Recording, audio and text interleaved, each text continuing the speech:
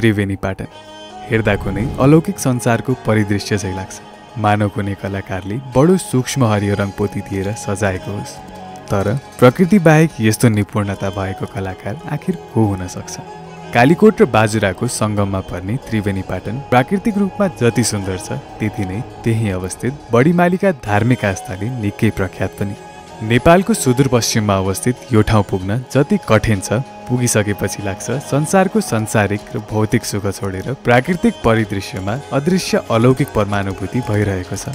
जति दुःख र कष्ट पार गरेर यहाँ पुगिन्छ लाग्छ ती भोगाईको कुनै क्षतिपूर्ति हुन्छ भने यी दृश्यहरूभन्दा माथि केही हुन सक्दैन जहाँ आधुनिकताले पाइला टेक्न सकेको छैन जहाँ पुग्दा फेर्ने एक एक सास सार्थक लाग्न थाल्छ।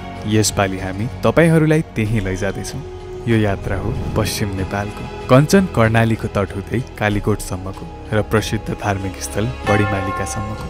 यो यात्रा हो आध्यात्मिक अनुभूतिको र जीवनलाई प्रतिनिधित्व गरिदिने उचाइसम्मको। नेपाली वन्डरको यो विशेष एपिसोडमा हामी तपाईँहरूलाई लैजाँदैछौँ समुद्री सतहबाट चार हजार दुई सय मिटर माथि रहेको बढीमालिकासम्म।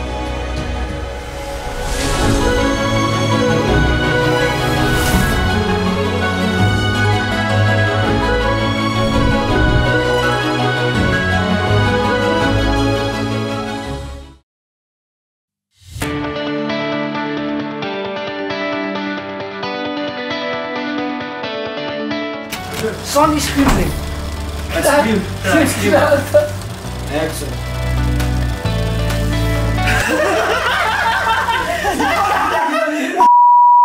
Hello everyone welcome to yet another episode of Nepal एथमन्डर travel series अनि योपालि चाहिँ हामी ट्राभल गरेका छौँ बडीमालिका अनि बडीमालिकाको हाइट चाहिँ forty two hundred metres of sea लेभलमा पर्छ र उता वेस्टर्न र फार वेस्टर्न रिजनको चाहिँ नेपालको एउटा एकदमै ठुलो आस्था बोकेको मन्दिर हो बडीमालिका चाहिँ।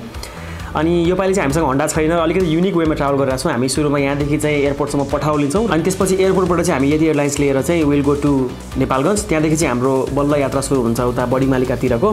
इन दिस फाइभ इयर्स हामीले फर्स्ट टाइम यसरी नै फ्लाइटमा ट्राभल गरिरहेको छौँ है। And I have information about सिजिनेट है। सिजिनेटको चाहिँ युज नाउ पे लेटर भन्ने पोस्ट पे प्लान चलिरहेछ अनि अहिले अफिसमा पनि हामीले सिजिनेटको एसएमई प्लान युज गरिरहेछौँ र एकदमै राम्रो चल्छ स्मुथ चल्छ। तपाईँहरू एकचोटि ट्राई गर्नु होला सिजिनेटलाई त्यही हो अब चाहिँ लेट्स बुक पठाऊ अनि त्यसपछि हामी अगाडि लाग्छौँ।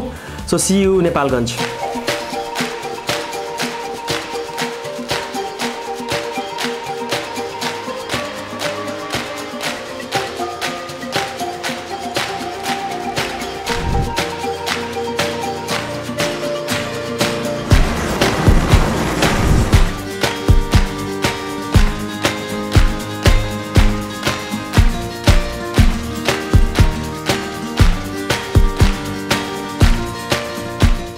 हाम्रो अब पटाउ ट्याक्सी हियर हामी सबै सामान लोड गरेर छौँ। अब चाहिँ हामी एयरपोर्टतिर लाग्दैछौँ है त? सपनाको सहर काठमाडौँ। आफ्नो दिन सुरु गर्न तामझामका साथ लागेको थियो। सधैँको जस्तो हाम्रो प्रारम्भ स्थल प्रिय काठमाडौँलाई छोड्दै हामी हाम्रो गन्तव्य स्थलतर्फ लाग्यौँ। यसपालि हामीसँग होन्डा त थिएन तर राइड सेयरिङ एप पठाएको सहायताले बसी बसी हामीले क्याब बोलायौँ र लाग्यौँ त्रिभुवन विमानस्थल। दाइ तपाईँले यो पटाउ चलाउन चलाउन थाल्नुभएको कति भयो? मैले पठाउ चलाएको झन्डै झन्डै तिन साढे तिन वर्ष भयो। हजुर। सुरुदेखि नै अब पठाउ भन्नु तपाईँलाई यो ट्याक्सी राखेदेखि न हजुर। अब मैले चाहिँ अहिलेदेखि अहिलेसम्म चलाइरहेको छु। हजुर। पठाउमा आबद्ध भइसकेपछि जो राम्रै छ। राम्रै हुन्छ कहिले बिस टिप पनि हुन्छ कहिले एक्काइस टिप कहिले पच्चिस टिप। कहिले त अब भ्याइ नै भ्याइ हुन्छ हामीलाई। त्यस्तो छ जोस् राम्रो छ पठाउले राम्रो प्लेटफर्म हो। हामीहरूलाई यो ट्याक्सी ड्राइभर जोस् मिहिनेत गर्नेलाई चाहिँ राम्रो छ। पटाउले चाहिँ नेपालमा डेढ लाखजनाभन्दा बढीलाई चाहिँ रोजगार दिएको दिएको छ हजुर त्यो सही हो। त्यसमा तपाईँ के भन्नुहुन्छ? त्यो त राम्रो हो नि सर। अब किनभने अब हाम्रै नेपालमै आफ्नै देशमा जब यतिको रोजगार पाउनु भनेको त धेरै राम्रो हो नि। जस पठाउले हामीलाई युवाहरूलाई चाहिँ जस रोजगारी दिनुभएको छ। त्यसलाई धेरै धेरै धन्यवाद पठाउलाई। विदेश जाने सोच अहिलेसम्म छैन। जस अहिले कन्टिन्यू चलाइरहेको छु पठाउ गरिरहेको छु त्यस राम्रै इन्कम छ राम्रै ट्रिप छ। र इन्सुरेन्स अहिले इन्सुरेन्स चाहिँ छ होइन? कभर गरेर आएको छ इन्सुरेन्स छ। अन्त त्यसको लागि चाहिँ अब जस अब हामीहरूको अहिले हुन त भगवान् कृपाले त्यस्तो अहिलेसम्म भएको छैन। मेरो अनुभवमा सर मैले पठाउ चलाएदेखि मेरो लाइफ मेरो लाइफ स्टाइलै चेन्ज भएको छ सर। पहिलाको भन्दा चाहिँ। है? हो। पहिला अब चोकमा बस्दाखेरि अब कहिले हुन्थ्यो कहिले हुँदैन थियो। तर पठाउ अनलाइन गर्ने भएको हुनाले त्यस कारणले गर्दाखेरि यो पहिलाको भन्दा चाहिँ धेरै नै चेन्ज भएको छ। अनि सेफ्टी सेफ्टी पनि। अब जस्तो पहिला लुटपाट हुने ट्याक्सीहरूलाई लुटपाट हुने। अब भनौँ न तपाईँ रातिमा नगर्ने मान्छे त्यति रातिसम्म नगर्ने तर पठाउ अब गर्ने भएको हुनाले कहिले एघार बजे रातिसम्म पनि मैले गरेको छु।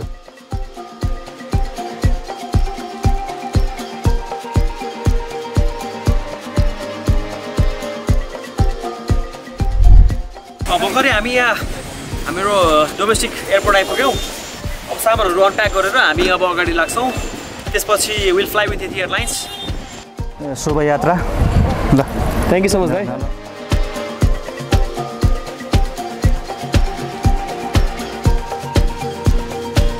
अब हामी डोमेस्टिक एयर आइपुग्यौँ। यो कस्तो भारी छ भने?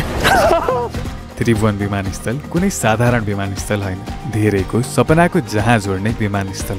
यहाँ केवल विमानको मात्र उडान हुँदैन।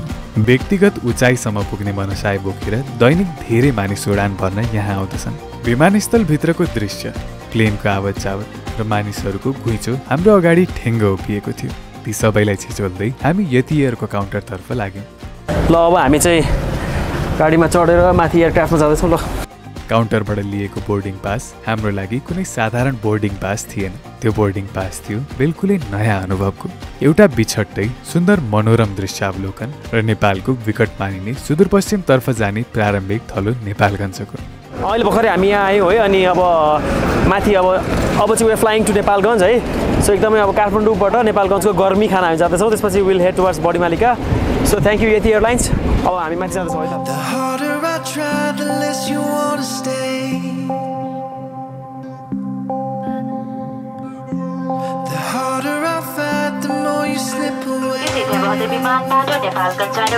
हार्दिक स्वागत गर्दछौँ हाम्रो नेपालगञ्जसम्मको उडानावधि पचपन्न मिनटको हुनेछ र हामी हजार पाँच सय आफ्नो सुरक्षाको लागि हरेक सिटमा रहेको सिट र यसरी सकिन्छ यहाँहरूको सुरक्षाको लागि बढी सिटको प्रतिवादी रहन हुन अनुरोध. विगतका केही पच्चिस वर्षदेखि एयरलाइन्स क्षेत्रमा विशिष्ट योगदान दिँदै आएको यति एयर चढ्न पाउँदा उत्साहले हामीभित्र घर बनाएको थियो र हामी त्यसको आतिथ्यमा मजाले रमाइरहेका थियौँ जमिनलाई छोडेर हामी आकाशको उचाइमा पुगिसकेपछि मनमा छुट्टै प्रकारको कौतूहलता उत्पन्न भयो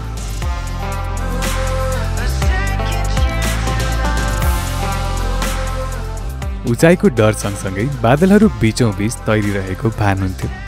माथिबाट हेर्दा मसिना देखिने ती पहाड खोला जमिन सबैलाई पछि छोड्दै एक निश्चित दिशातर्फ बिना कुनै रुकावट विमान उडिरह्यो र यति एयरको विमानमा बसेको एक घन्टा बेच्न पाउँदा नपाउँदै हामी नेपालगञ्ज पुगिसकेका थियौँ।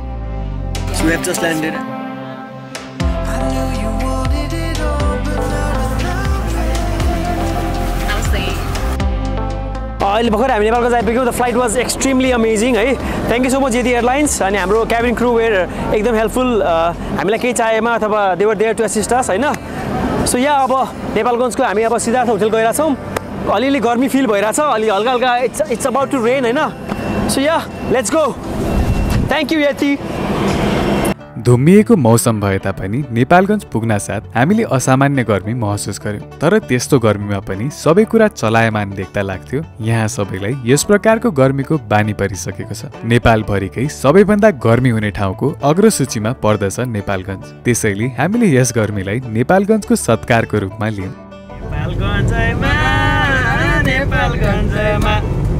गर्मी खाना आयो नेपालगञ्जमा। बिरयानी नि खाइन्छ नेपालगञ्जमा। पौडी पनि खेलिन्छ नेपालगञ्जमा।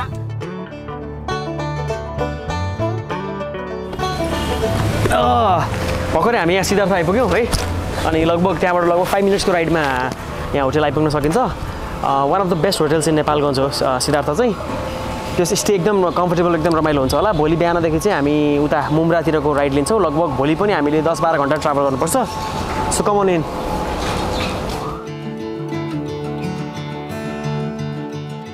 नमस्ते welcome to Nepalganj. So I'm glad that you are here. Welcome to Nepalganj and welcome to Hotel Siddharth. काठमाडौँबाट तिन सय सतसट्ठी किलोमिटर पश्चिम लागेपछि पुगिने नेपालगञ्जको पर परसम्म फैलिएको फाटमा सिद्धार्थ होटेल धेरै यात्रीहरूका लागि आकर्षणको ठाउँ बनेको छ। व्यापार र पर्यटनको हिसाबले नेपालगञ्ज पश्चिम नेपालको टर्मिनल स्टेसन हो। झन पश्चिम नेपाल भ्रमण गर्नेहरूका लागि यो विश्रामस्थल जस्तो भएको विशेषता ध्यानमा राख्दै आगन्तुकहरूका लागि सिद्धार्थ होटेलले सम्पूर्ण कुराहरूको व्यवस्था गरेको छ। Conference hall swimming pool spa gym casino लगायत सुविधा सम्पन्न रुमहरूले नेपालगञ्जको विराट कर्मीलाई भुलाउने वातावरण सिद्धार्थ होटेलले सुनिश्चित गरेको भान हुन्छ अहिले भर्खरै हामी नेपालगञ्जको सिद्धार्थ होटेलमा चेक इन गरेर चाहिँ अब स्ट्रिट फुड एक्सप्लोर गर्नलाई त्रिभुवन चोक गइरहेको छौँ सबजना केटाहरू यहाँ बिरयानी खाने भनेर भनिरहेछ होइन होइन अनि त्यसपछि मुबारक बिरयानी चाहिँ बन्द भइसक्यो अरे है अब अलिकति ढिला आयो हामी। तर अरू अरू बिरयानीमा हामी जान्छौँ होला। अब लेट्स कस्तो हुनेवाला छ। एकदमै we're hungry so let's explore Nepalgunj.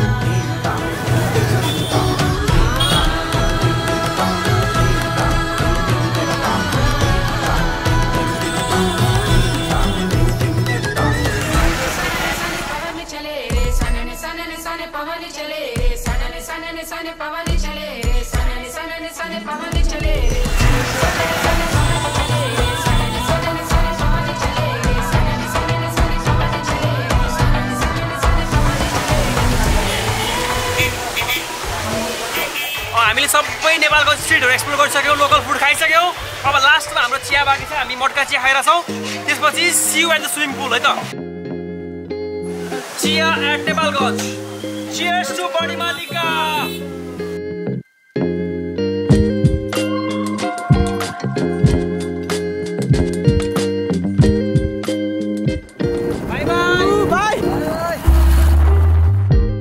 भोलिपल्ट हाम्रो यात्रा प्रारम्भ हुँदै थियो। त्यसैले यस पहिलो दिनको अन्त्य सिद्धार्थ होटेलको स्विमिङ पुलमा पौडी खेल्दै र दिनभरिको थकान मेटेर भोलिपल्ट विशाल यात्राको लागि तयार रहने निदो गर्यौँ।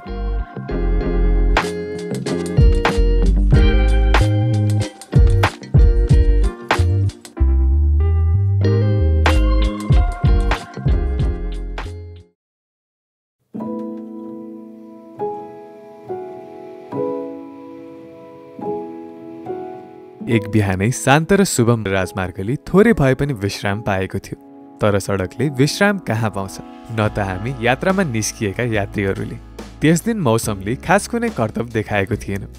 लाग्थ्यो सारा फाँटहरूमाथि बादल आच्छादित भएर शीतलता दिँदैछ तर कतिन्जेल। त्यसको अत्तो पत्तो कसैलाई थिएन। सहर चलायमान हुनु अगावै हामी खाजा खाएर मुम्राका लागि निस्कने तयारीमा थियौँ।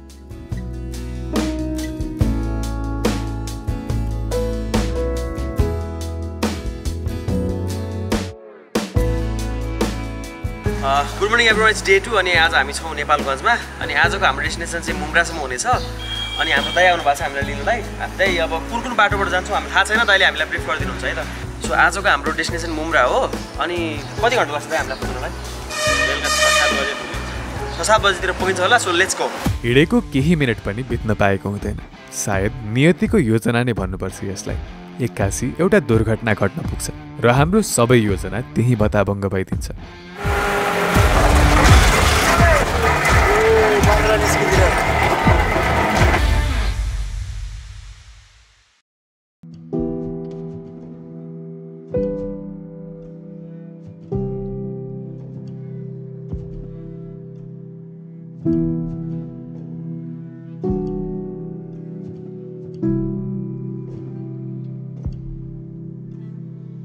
हामी नेपालगञ्जबाट निस्किँदै थियौँ है।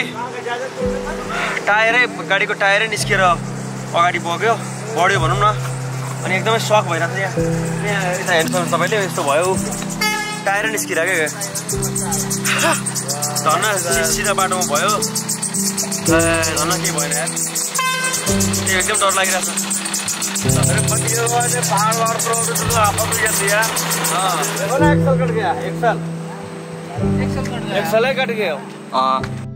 कहिलेकाहीँ यात्राको यस्तो पक्ष पनि हुन्छ जहाँ अनिश्चित कुराहरू भइदिन्छन्। त्यस्तो अनिश्चितता र जोखिमलाई सकेसम्म निर्मूल गर्दै अगाडि बढ्नु नै हरेक यात्री र विशेष गरी हाम्रो टिमको धर्म हो। त्यसैले हामीले यो अनिश्चिततालाई स्वीकार्दै र नियतिलाई धेरै ठुलो दुर्घटना नघटेकोमा धन्यवाद दिँदै यसको समाधान खोज्नेतर्फ लाग्यौँ। एकैछिनमा त्यहाँको स्थानीयहरू भेला हुनुभयो र हामीलाई मद्दत गर्न थाल्नुभयो। यसले हामीलाई थप हौसला दिएको थियो। आधार अरे बहुत भाग्यशाली हो आप लोग। उताबाट आउँदै गरेको भए टायर फुत्किएर नालीतिर गयो। हामी त झन्डै मऱ्यो नि त डरले। अब जस्तै अब त्यो अब डर मान्नु पर्दैन बिच रोडमा कि। मरेर मान्छे त डर मान्नु पर्दैन यस्तै हो अब टायर निस्केर हावामा उडेर तिन चारचोटि बााउन्स गरेर नालीमा छिर्दिन क्या टायर। हो अनि पुरै त्यो टायरै गयो नि त त्यो तल खिसिरहेको क्या त्यो अब फलाम के ग्याट ग्याट ग्याट गर्दै अगाडि अब तर्सिरहेको क्या अब।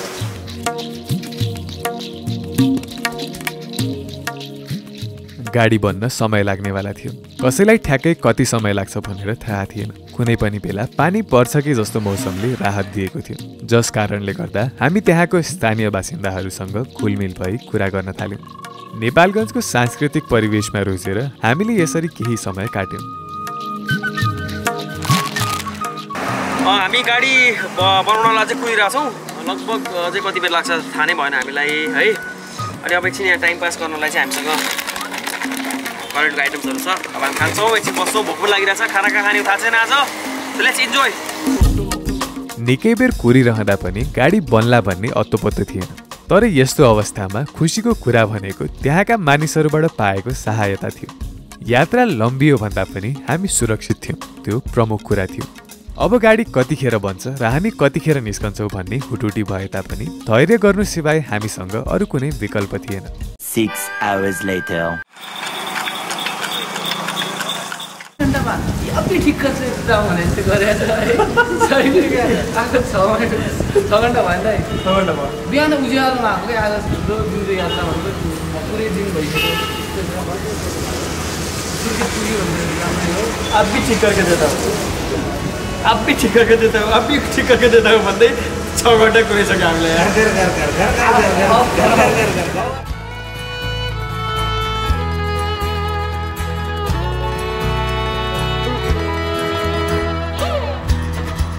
दाइलाई धेरै धेरै धन्यवाद है। खरे हामी लगभग छ घन्टा छ सात घन्टा जति कुरेपछि चाहिँ गाडी बन्यो अनि सामान पनि पाएको थिएन धेरै कुरा बनाइयो। त्यसपछि अब चाहिँ हामी अगाडि लाग्छौँ। हेरौँ आज कहाँ पुगिन्छ सुर्खेत सुर्खेतसम्म चाहिँ जाने हाम्रो प्लान छ है त ल लेट्स गो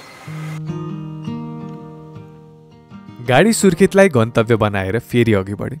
हुन त भविष्यमा के हुन्छ त्यो अनिश्चितता रहिरहन्छ। तर एउटा बाधा पार गरियो भन्ने खुसी र राहत हामी सबैले महसुस गरेका थियौँ। सहजताको कामना गर्दै हामी कोहलपुर हुँदै रत्न राजमार्गमा पर्ने बाँके राष्ट्रिय निकुञ्ज पुग्यौँ। वरिपरि हरिया रुख अनि तिनले फिजारी दिएका चिसो हावाले मनलाई आनन्दित तुल्याइरहेको थियो। पाँच सय पचास वर्ग किलोमिटरमा फैलिएको बाँके राष्ट्रिय निकुञ्ज विशेष गरी चराहरूको लागि प्रख्यात छ। यहाँ तिन सय भन्दा बढी प्रजातिका चराचुरुङ्गीहरू देख्न सकिन्छ तर कुनै अर्को यात्राको गन्तव्यको रूपमा यसलाई थाती राख्दै हामी यहाँबाट पनि अगाडि बढ्यौँ.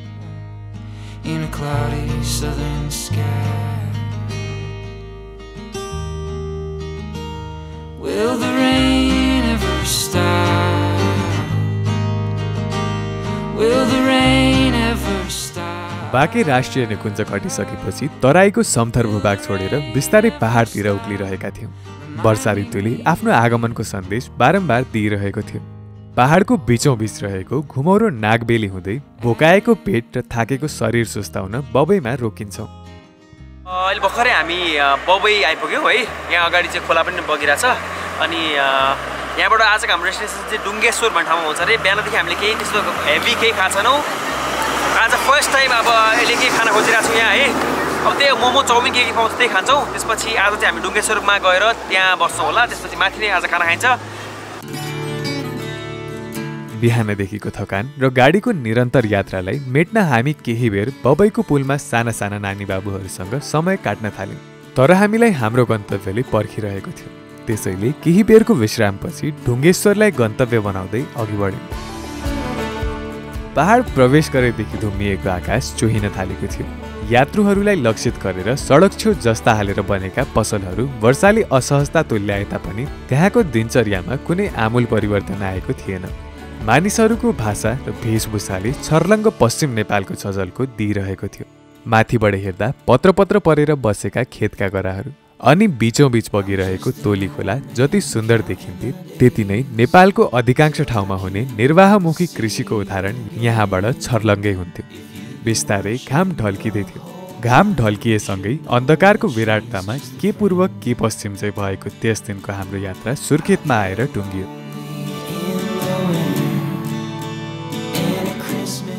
अहिले भर्खरै हामी सुर्खेत आइपुग्यौँ। यहाँभन्दा अगाडि चाहिँ जान पाइएन। आज टाइम पुगेन है। भोलि बिहान हामी चार बजी उठेर अगाडि हिँड्छौँ। हाम्रो भोलिको डेस्टिनेसन चाहिँ मुम्रासम्म हुनेवाला छ। हेरौँ अब कहाँ पुगिन्छ थाहा छैन गाडी बिग्रियो आज चाहिँ। ल अब गुड नाइट भोलि बिहान चार बजी उठेर निस्किन्छ है त हामी ल सी इन द मर्निङ माथि क्यामेरा त थिएन नि होइन?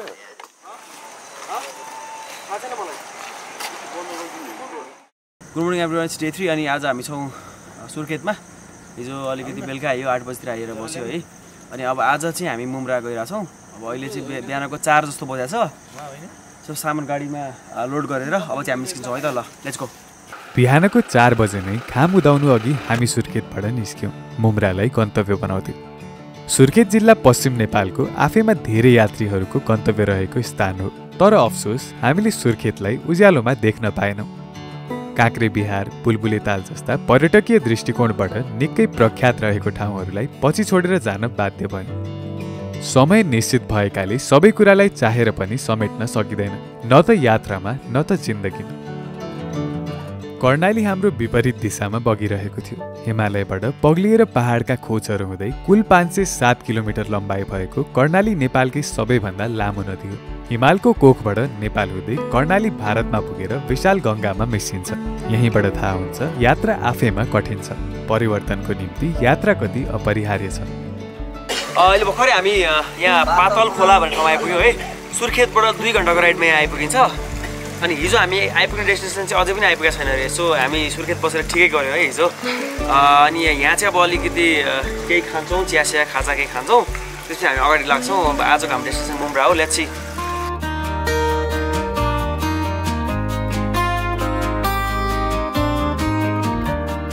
सुर्खेतबाट हिँडेको करिब दुई घन्टापछि पाताल खोला पुगेका थियौँ। त्यहाँ चिया नास्ता खाएपछि बल्ल दिन सुरु भए जस्तो भयो। पाताल खोला पश्चात हामी दैलेख जिल्ला प्रवेश गरेका थियौँ। दैलेखले पूर्वमा जाजरकोट पश्चिममा अछाम उत्तरमा कालीकोट र दक्षिणमा सुर्खेतलाई छोएको छ।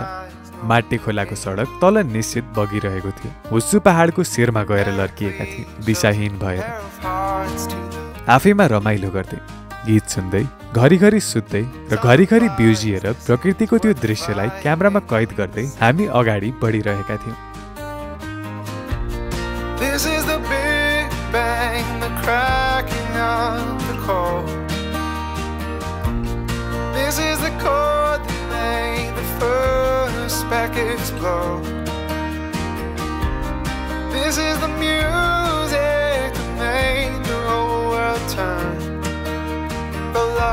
that we all came from into which we now. Return.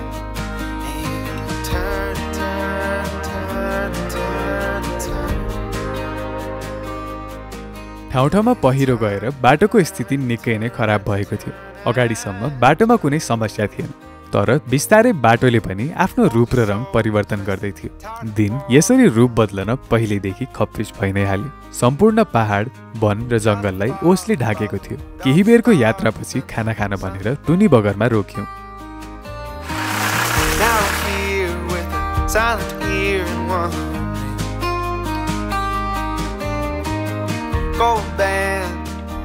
अहिले भर्खरै हामी यहाँ टुनी बगर भन्ने ठाउँमा आइपुग्यौँ है। अनि यहाँ चाहिँ अब हामी खाना खाना खान लागेको अनि एनटिसीको नेटवर्क चाहिँ यो ट्राभलभरिमा अहिलेसम्म यहाँसम्म मजाले नै छ है। यता त रिज रिचार्ज कार्डहरूको बोर्ड पनि रहेछ। यहाँ चाहिँ अब लोकल पिपलहरूले रिचार्ज कार्डमा स्क्र्याच गरेर चाहिँ अब रिचार्ज गर्नु हुँदो रहेछ एनटिसीलाई। सो अब त्यही अब हामी खाना खान्छौँ। त्यसपछि हाम्रो आजको डेस्टिनेसन मुम्बई हो। तपाईँलाई थाहा छँदैछ। सो अब लेट्स इट एकदमै भोक लागेको छ। अब मुख धुनु पऱ्यो आज मुख धुएको छैन। अब मुख धुनु पर्ने छ मैले चाहिँ ल।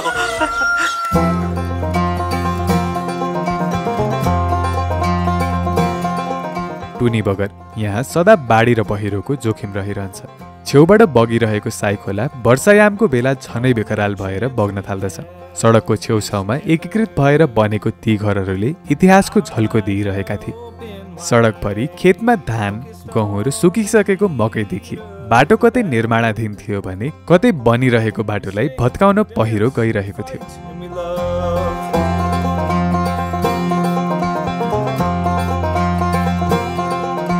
the small things that we do, sharing a word or two, telling a story to a new friend. Open minds and open hearts. The news turned off, let's walk out the door. Huh?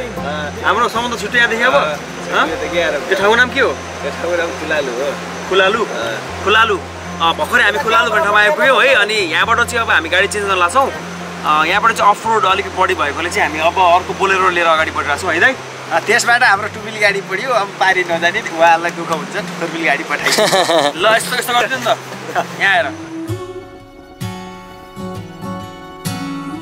लालीघाटमा पुगेर गाडी बदलिने निदो गर्यौँ। किनकि जति जति उकालो लाग्दै जान्थ्यो त्यति नै बाटो बिस्तारै असहज हुने पक्का थियो।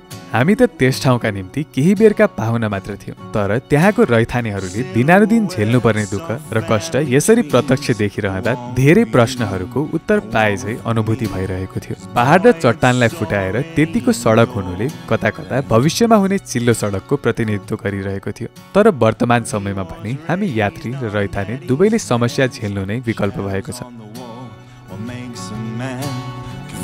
Confusions, illusions out the door. But don't you tell me that you love me and then fill my mouth with words. It's just another lesson learned. Cause I'm falling,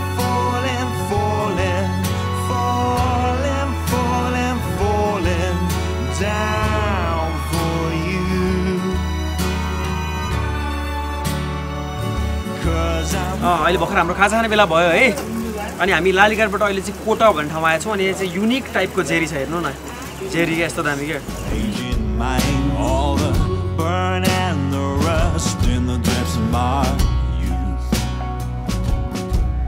don't you tell me that you love me and then fill my mouth with words. It's just another lesson learned. जब कुनै पनि ठाउँको सुन्दरता शब्दले मात्र बयान गरेर सकिँदैन तब हामी त्यसलाई स्वर्गको उपनाम दिन्छौँ। स्वर्ग कहीँ छ भने त्यो यहीँ छ भन्ने सन्देश हामीले विगतका भिडियोहरूबाट पनि दिँदै आएका छौँ। कोटामा खाजा खाइसकेपछि हामीले हाम्रो यात्रालाई फेरि निरन्तरता दियौँ। कतै रोकिँदै कतै पश्चिम नेपालको सुन्दरतामा मग्न हुँदै कतै स्थानीयहरूको मिठो भाका भएको बोलीमा केही कुराकानी गर्दै र कतै भिडियो खिच्दै बढिरह्यौँ।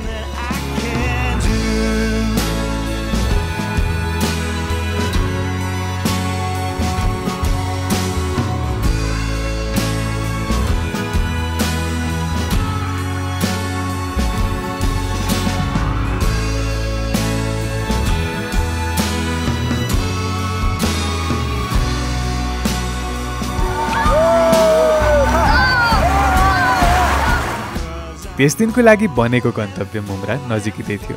जति जति हामी उकालो लाग्थ्यौँ त्यति त्यति हाम्रो आँखा अगाडि प्रकृतिको काखमा हुर्किरहेको जनजीवन देखेर कतै खुसी हुन्थ्यौँ त कतै दुःख लाग्थ्यो। यो मिश्रित भाव पश्चिम नेपाल प्रवेश गरेदेखि मानस पटलमा सलबलाइरहेको थियो। न त हामी दुखी मात्र थियौँ न त खुसी मात्र।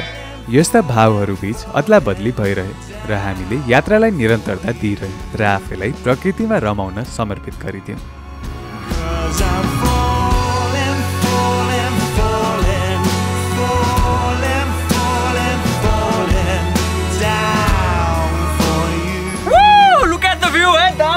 देखिरहेको छ। रेनबो दुईटा रेनबो हामी फेस गरेको छौँ। सनसेट देख्न पाइयो। वेदर क्लियर भयो। अब लगभग आधी घन्टा पैँतालिस मिनटमा हामी मुम्रा पुग्छौँ होला। यस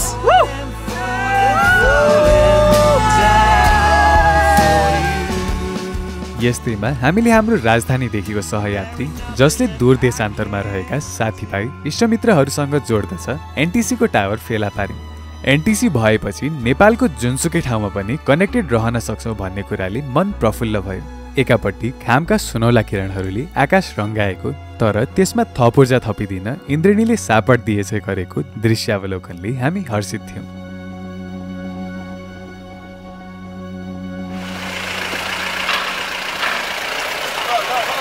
हामी अगाडि मुम्रा गइरहेको थियौँ। बाटोमा पहिरो आएको रहेछ। यत्रो ठुल्ठुलो ढुङ्गा रहेछ। हामीले अब त्यो मुभ गर्न सक्दैनौँ है। अनि रिस्क पनि किन लिने भनेर अहिले हामी पछाडि फर्केर सेरा भन्ने गाउँमै बस्छौँ होला आज। भोलि बिहान दुईजना हाम्रो दाईहरू हुनुहुन्छ माथि उहाँहरू नै बिहान सात बजीतिर आउनुहुन्छ अरे। त्यहाँदेखि चाहिँ अब हामी भोलि बिहान चाहिँ यहाँबाट हिँड्छौँ र लगभग अब आठ नौ दस बजीतिर मुम्रा पुगेर त्यहाँ खाना खाएर चाहिँ हामी भोलि नै माथि छापेतिर पुग्छौँ अनि पर्सि चाहिँ हामी त्रिवेणी पाटन पुगिन्छ होला। सो अब हामी फर्किँदैछौँ। पहिरोको कारण मुम्रा फेरि पनि हाम्रो गन्तव्य बन्न सकेन। फेरि पनि अनिश्चिततालाई स्वीकार्दै हामी सेरातर्फ फर्कियौँ। आयो है उता आज मुम्रा बस्ने भनेको थियो। अनि आज उता बाटो पहिरो आएको रहेछ नि त। कति बेला आएको पहिरो त्यहाँ? उहाँहरूलाई खासै थाहा छैन है। यो रुम्सहरू छ? छजना अटिन्छ? दुईवटा रुममा कि एउटा कस्तो कस्तो? एउटैमा छजना अटिन्छ? आइयो है अब यहाँ माथि एउटै एउटै रुममा छजना अटिन्छ अरे माथि जाउँ अब रुम्स रुम्सहरू हेरौँ त्यसपछि सामानहरू माथि उठाउँ। अब भोलिदेखि चाहिँ स्टार्ट वकिङ सही हो। Good night, see you in the morning.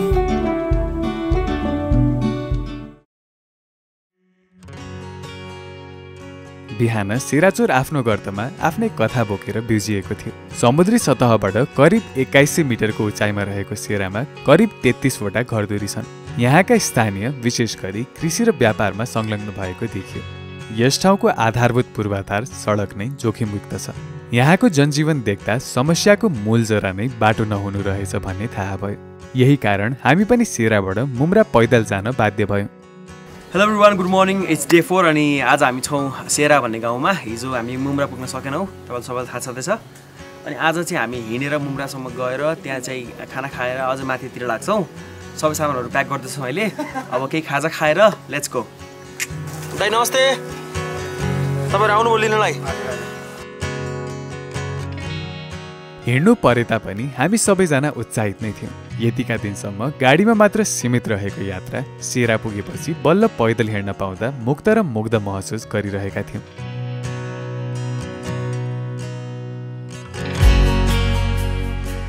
अहिले भर्खरै हामी सबै सामानहरू प्याक गरिसक्यौँ अनि माथि ट्रेक गर्न सुरु गरिरहेछौँ। अनि आज चाहिँ हामी अब माथि अब छापेसम्म कहाँसम्म पुगिन्छ थाहा छैन है। मुम्रासम्म चाहिँ दुई घन्टामा पुगिन्छ होला। अनि this was are from Columbia Nepal है। Thank you so much Columbia Nepal for this यो this are tech light and has omni grip यसमा पछाडि ग्रिपको कुरा गर्नुपर्दा सो एकदमै राम्रो छ। अ, अब हामी चाहिँ ट्रेक सुरु गर्छौँ। लेट्स गो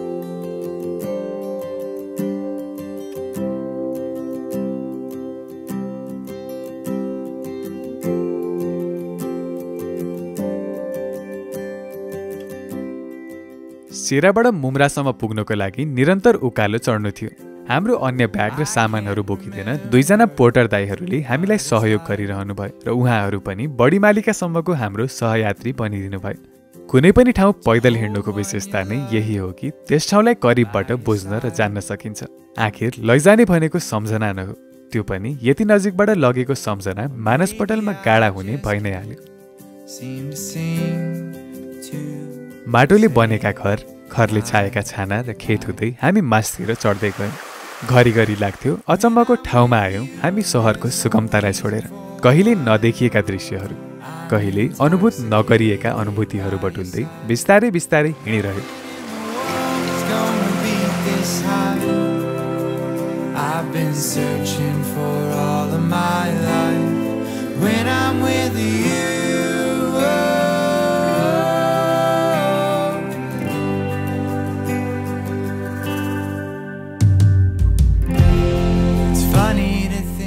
बिस्तारै त्यहाँका मानिसहरू आफ्नो दिनचर्यामा ढल्दै थिए।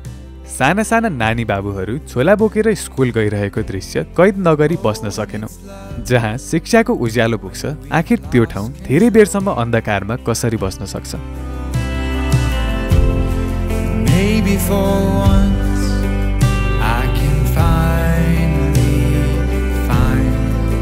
माथि कपी हो? स्कुल जान लागेको?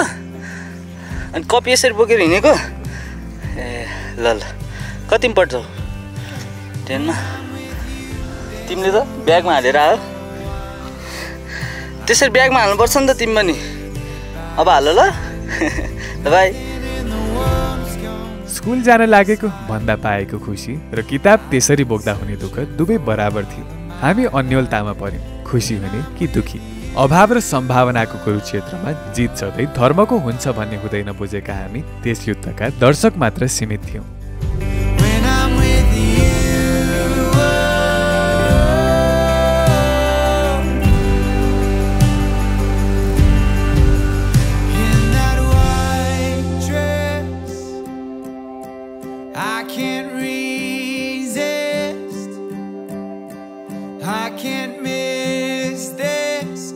हाम्रो अगाडि एउटा सिङ्गो यात्रा थियो। त्यसैले त्यो अन्यलतालाई थाती राख्दै हामी अगाडि बढ्न थाल्यौँ। ती साना नानी बाबुहरूलाई देख्दा अभावमा फुल्ने फुल बिम्ब बनेर पछिसम्म मस्तिष्कमा छाइरह्यो। ठाउँ ठाउँमा रमाउँदै अप्ठ्यारो बाटो जसोतसो पार गर्दै हामी एउटा पानी घट्ट रहेको ठाउँमा पुग्यौँ।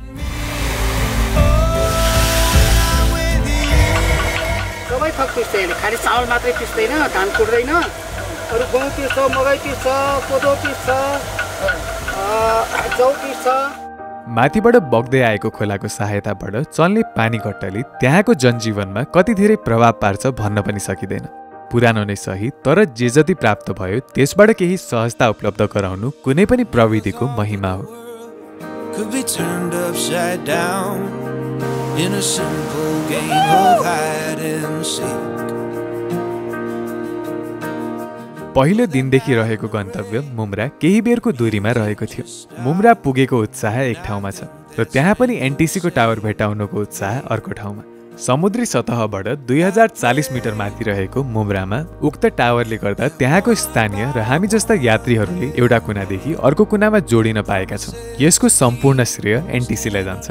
कयौँ दिन तपस्या गरेर सिद्धि प्राप्त गरे चाहिँ मुम्रा हाम्रो लागि विगतका तिन दिनदेखिको उताप चढाव सजिलो अप्ठ्यारो र समग्रमा कठिन यात्राको फल चाहिँ साबित भएको थियो। कालीकोट जिल्लामा अवस्थित मुम्रा त्रिवेणी पाटन र बढीमालिका जानेहरूका लागि ट्रान्जिट हो। हुन त मार्तडी हुँदै अर्को बाटोबाट जान पनि सकिन्छ तर आर्थिक तथा सहजताको तुलनामा यही बाटो उचित मानिन्छ। हामी जसरी कोहलपुरबाट सुर्खेत हुँदै आउने हो भने पुरै एक दिन थोरै लाग्ने रहेछ भने बाटो पनि बिस्तारै बन्ने क्रममा रहेको छ। आउँदो दिनमा सायद मुम्रा कुनै चिरपरिचित गन्तव्य भई यहाँ पर्यटन पनि फस्टाउँछ भन्ने हामी सबैको कामना थियो। अहिले भर्खरै हामी मुम्रा आइपुग्यौँ सेराबाट लगभग साढे दुई घन्टा जति हिँडेर यहाँ आइपुग्यो। अनि हिजो आइपुग्ने ठाउँ चाहिँ यहाँ थियो तर हिजो चाहिँ गाडी अब आउन नमिलेर हामी उतै बस्यौँ है। अनि हिजो चाहिँ हामी यहाँ आएर यो हाम्रो पिके दाईको होटेलमा बस्नु भन्नुभएको थियो। हामी यहाँ यही होटेलमा छ। आज हामी यहाँ चाहिँ खाना खाइरहेछौँ। अनि यहाँबाट अब खाना खाएपछि चाहिँ हामी माथि लाता भन्ने ठाउँमा पुग्छौँ। लाता चाहिँ लाता चाहिँ यहाँबाट लगभग दुई तिन चार घन्टा जस्तो हिँडेपछि पुगिन्छ अनि यहाँबाट हामीले चामलहरू बोकेर लिएर जान्छौँ होला। माथि गोठहरू छ अरे त्यहाँ बसेर बेलुका खाइन्छ। सो अब अहिले चाहिँ एकदम भोक लागेको छ खाना खाउँ। त्यसपछि अब हामी माथि लाग्छौँ त्यसपछि चाहिँ। ल भन्नु। सो नेपाल एट पन्ध्रको चिमो हेराट मुम्रा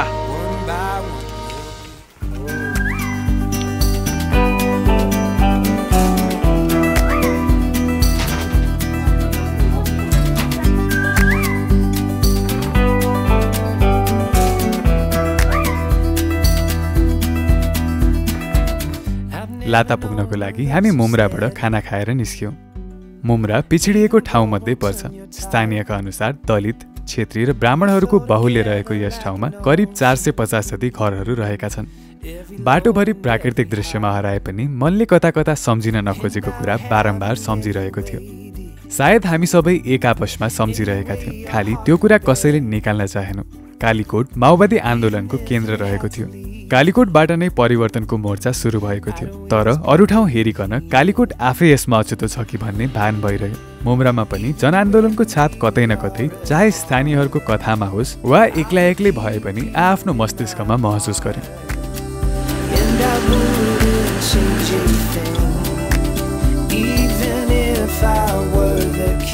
निरन्तर बगिरहेको खोल्सा हुँदै हुँदै पानीघट्ट फेरि पनि देख्यौँ। कतै खुल्ला आकाश मुनतिर हिँडिरह्यौँ भने घरिघरि प्राकृतिक छानो बनेर रुखको हाँगाहरू घामको किरण छेकिदिन आउँथे। ती प्रकाश जिद्दी आफैमा पातलाई छेड्दै कतै न कतैबाट पसिहाल्थे। हामीले यसमा पनि छुट्टै सुन्दरता भेटाएका थियौँ। प्रकृतिको यस्तो एब्स्ट्राक्ट चित्रमा धेरै यात्रा गरेर होला अर्थ बगेरको सुन्दरतामा पनि रमाइन्छ। पदयात्राको विशेषता नै यही जस्तो लाग्छ। थकान हुन्छ अप्ठ्यारो हुन्छ तर त्यसबाट प्राप्त हुने ती अमृतरूपी दृश्य र अनुभव त्यो कुनै ढुङ्गामा धर्का कुदिए चाहिँ सदा सदाको लागि कुदिन्छ र यस्तै अनुभवहरूको सङ्गालोले आनन्द प्रदान गर्छ भन्दा गलत हुँदैन होला। I will hold कलकलाउँदो खोला र त्यसैको छेउमा उकाली चढ्दै ओह्राली झर्दै हिँड्यौँ हामीलाई समयमा नै लाता पुग्नु थियो स्वतन्त्र रूपमा प्रकृतिको घनघोरता देखिरहेका थियौँ will just the same. And I wouldn't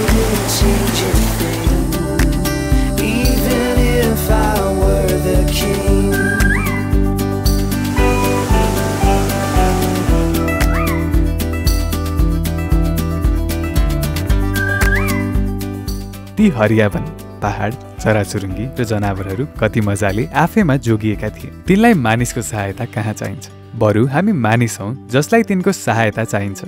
यो अनुन्याश्रित सम्बन्ध प्रकृति र मानव बीचको पनि बडो गजबको थियो।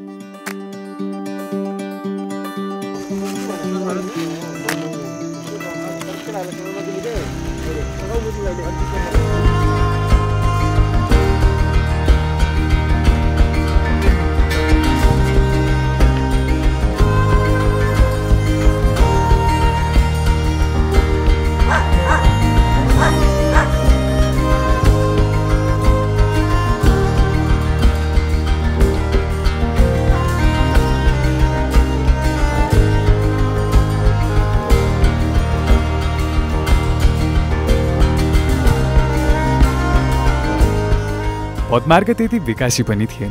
त्यहीँका स्थानीयहरूले आफूसँग भएको स्रोत र साधनको उपयोग गरेर हिँड्न लायकको बनाएका थिए। त्यो नै विशेष कुरा थियो। उकालो धेरै चढेर होला एकचोटि बसेपछि शरीर उठ्न मानिरहेको थिएन।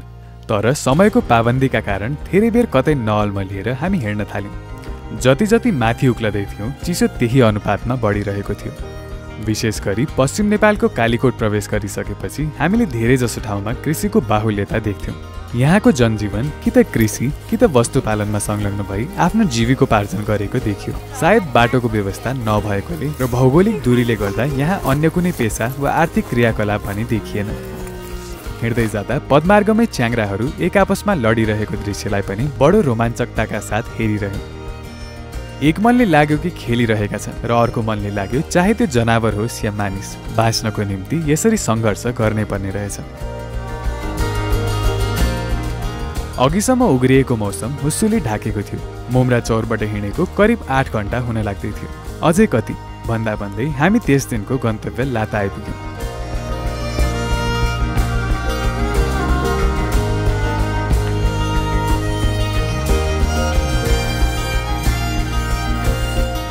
लाता लाता दुनिके भन्ने ठाउँमा आइपुग्यौँ हामी अहिले।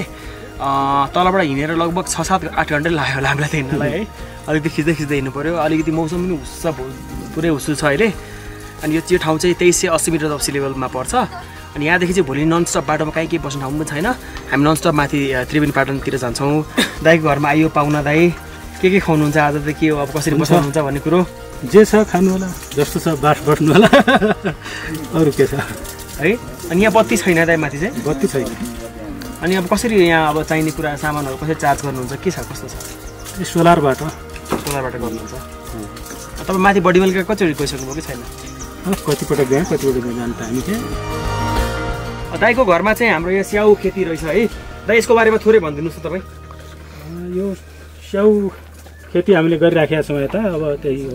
यतातिर हुने खेती नै यही नै हो। हजुर। आलु तथा स्याउ खेती हामी गरिराखेका छौँ। हजुर। यातायातको सुविधा नहुँदाखेरि अलि अप्ठ्यारो भएको हो। बेच्नलाई। बेच्नलाई अलि बजार व्यवस्थापन छैन। हजुर हजुर। त्यही भएर अलिक अप्ठ्यारो हो नत्र फल राम्रो फलिराखेको छ। है? तपाईँले दाइ ल अलिक मिठो यसो छानेर मलाई दिनु दाइ कुन चाहिँ हुन्छ तपाईँको? मिठो खाना। र कस्तोमा खाने? गोल्डेन? होइन मिठ मिठो चाहिँ हुनु पर्यो खाँदा गोल्डेनवाला मिठो। खाने कि अब यो रातोवाला कलरमा मतलब भएन। कलरमा मतलब भएन खाँदा मिठो हुनु पर्यो ल ल खाँदा स्वाद हुनु पर्यो। अँ। ओहो ल दुइटा आयो। योलाई यस यतिकै खान मिल्छ। मजाले केही केही हामी औषधि प्रयोग गरेका छैन छैन है? अर्ग्यानिक हो यो। खास।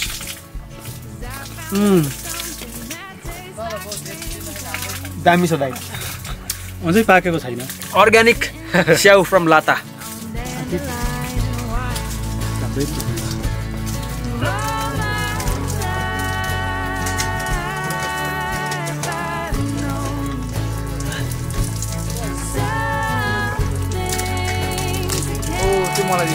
दिनु। यहाँ मेरो यहाँ पर परसम्म दाईको मात्रै घर थियो। हामीलाई यो घर पनि अनौठो लाग्यो। माटोले लिपेको काठको बरन्डा र अनौठो आकारको यो घर हामीलाई अरू ठाउँको भन्दा भिन्न लाग्यो। यहाँ भर्खरै अघि आयो होइन लुगासुगा चेन्ज गरिसक्यौँ हामीले जाडो जाडो छ। अनि अब हामीले चाहिँ अब यहाँ करेन्टको कप नुडल्स ह्यान्डी नुडल्स जुन चाहिँ अब ट्राभलमा पनि एकदम ट्राभल फ्रेन्डली बोकेर हिँड्न मिल्छ। टक्क यसो तातो पनि हाल्ने। पाँच मिनट कुर्ने र अब हामी यसलाई खान्छौँ। त्यस एक- एकदम अब जाडो छ अब लेट्स इट करेन्ट नुडल्स है त?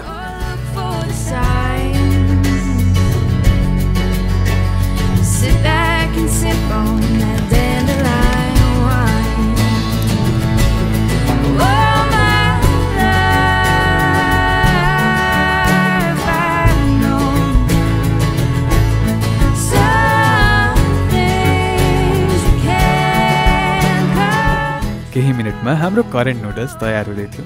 लातामा चिसो पनि बढ्दै थियो। कोही आलु काट्दै हुनुहुन्थ्यो भने कोही आगो बाल्नको निम्ति दाउरा चिर्दै हुनुहुन्थ्यो.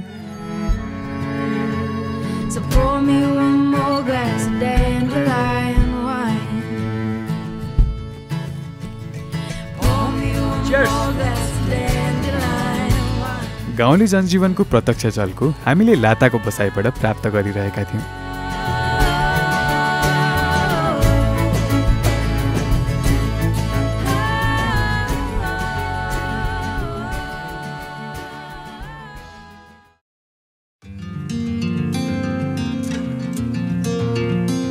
एक बिहानै लाता बादल नै बादलले घेरेको स्वप्न चाहिँ देखिएको थियो। समुद्री सतहबाट तेइस सय अस्सी मिटरको उचाइमा रहेको लाता मुम्राबाट केही घन्टाको ठाडो उकालो चढेपछि पुगिन्छ। लाता सिङ्गो बिरानो पहाडभरि ज्यानभरि रहेको केही घरमा सीमित छ। बत्तीको समेत व्यवस्था हुन नसकेको ठाउँमा त्यहाँका मानिसहरू सोलरबाट चल्ने बिजुलीमा आश्रित छन्। खेतीपाती र वस्तुपालनमा आश्रित छन्।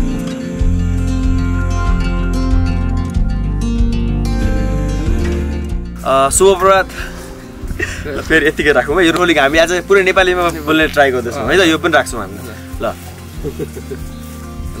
शुभ प्रभात सबैजनालाई। आज चाहिँ हाम्रो यात्राको पाँचौँ दिन अनि हामी पाँचौँ दिनमा चाहिँ हामी यहाँ लाता भन्ने ठाउँमा आएर हिजो बेलुका यहाँ आएर बस्यौँ।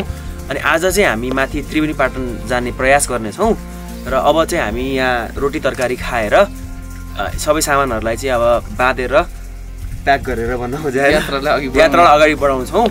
त्यही त अब रोटी खाउँ त्यस अगाडिपट्टि शुभ प्रभातलाई के सनराइजलाई के भन्छ।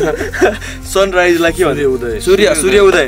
सूर्य उदय भइरहेको छ र एकदमै आकाश चाहिँ एकदमै गुलाबी कलरको गुलाबी रङको देखिएको छ। त्यही त्यति भन्दै अब हामी खाजा खाएर चिया पनि आयो दाइ ल्याइदिनुहोस् चिया यहीँ। केही हुँदैन हामीलाई फरक पर्दैन। र चिया आयो। चिया दुधको चिया आयो त दाजु यो त कालो चिया बनायो नि त बिहान बिहान ल। त्यति भन्दै यहीँ राख्दिनँ। अब हामी खाएर माथितिर लाग लाग्नेछौँ र सबै सामानहरू बाँधेर है त? ल। बिहानै उठेर हामी बादलले ढाकेको त्यो मनोरम दृश्य हेर्नमै व्यस्त भयौँ। आगोमा पकाएको रोटी र चिया खाइसकेपछि हामी त्रिवेणी पाटनको लागि निस्किन तयार भयौँ। अब हाम्रो बास एकैचोटि त्रिवेणी पाटनमा पुगेपछि मात्र हुनेवाला थियो। तपाईँहरूको शुभयात्रा होस् होइन बडी मालिकाको। राम्रोसँग जानु होला बाटोमा अलि भिडभाडमा राम्रोसँग केयर गरेर हिँड्नु होला। हुन्छ दाइ ल धन्यवाद है। ल धन्यवाद दाइ धन्यवाद धन्यवाद। पूर्वीय ध्रुव हुँदै सूर्यले चालेको कदममा हामीले पनि साथ दियौँ। बिस्तारै बादलले ढोकेको पर्दा सारेर घाम मुस्कुराउने क्रममा थियो।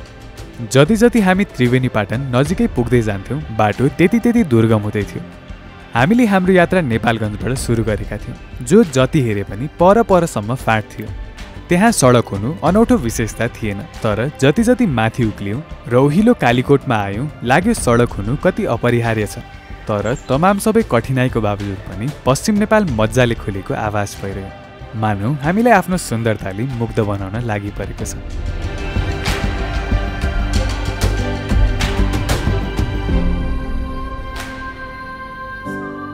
पदमार्गको छेउछेउमा कञ्चन पानीले हिँड्दा लागेको तिर्खा मेटाइरहेको थियो। मन भने प्राकृतिक सौन्दर्यसँग पूर्ण रूपले तृप्त भइसकेको थिएन। लाग्दथ्यो हामी धरतीमा छैनौँ कुनै छुट्टै ग्रहमा पुगेका छौँ।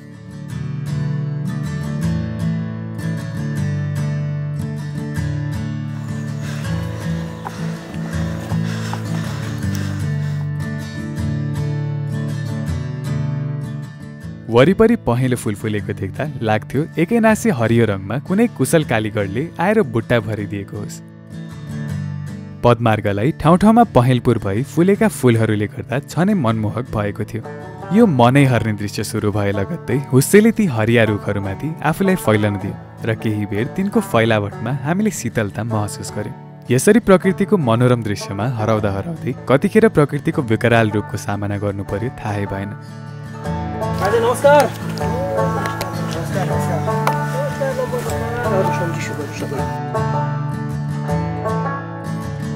एक्कासी हामी यस्तो पदमार्गमा पुग्यौँ जहाँ हामीले कहिले नखेपेको डरको सामना गर्नु पर्यो। हामी साँगुरो पदमार्गमा थियौँ र त्यसको ठिक तल विकराल भिर थियो गहिरो। एकछिनको लागि त मुटुले आफ्नो स्थान छोडेको जस्तो भयो। निकै नै सावधानीपूर्वक जसोतसो त्यो जोखिमलाई पनि पार गर्यौँ।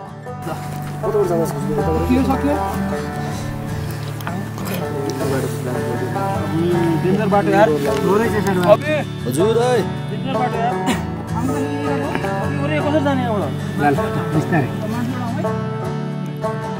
यता पुरै हुस्सो लागेको छ पुरै भिर यता। यति यो बाटो।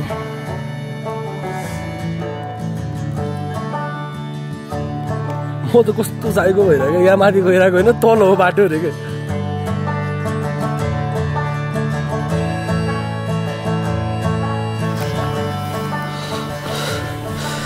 अति नै रिस्की छ। बाटो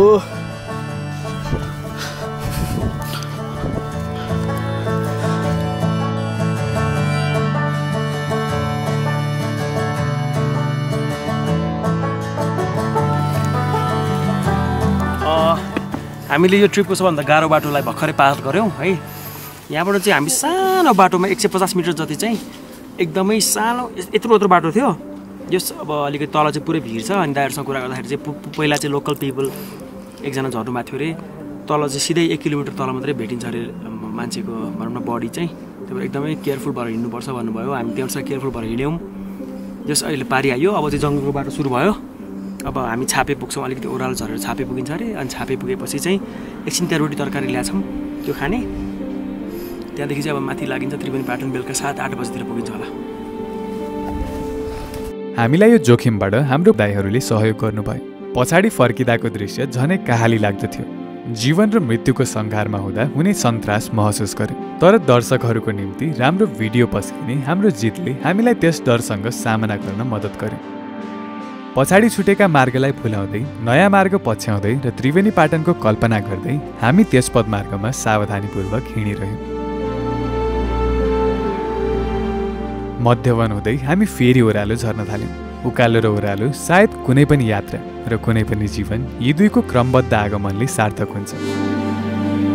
न त ओह्रालो अनन्त छ न त उकालो। न त उज्यालो अनन्त छ न त अध्यारो। यो चक्रमा हामीले जीवन दर्शन फेला पार्यौँ यात्राको अर्को उपहार सायद यही हो। त्यस दिनको यात्राले प्रकृति घनघोरता सामु मानव सभ्यता झुक्नुपर्छ भन्ने यथार्थ हामीलाई छर्लङ्ग बनाएको थियो। लाताबाट केही बेर उकालो अनि ओह्रालो छरिसकेपछि हामी छापे खोला पुग्यौँ।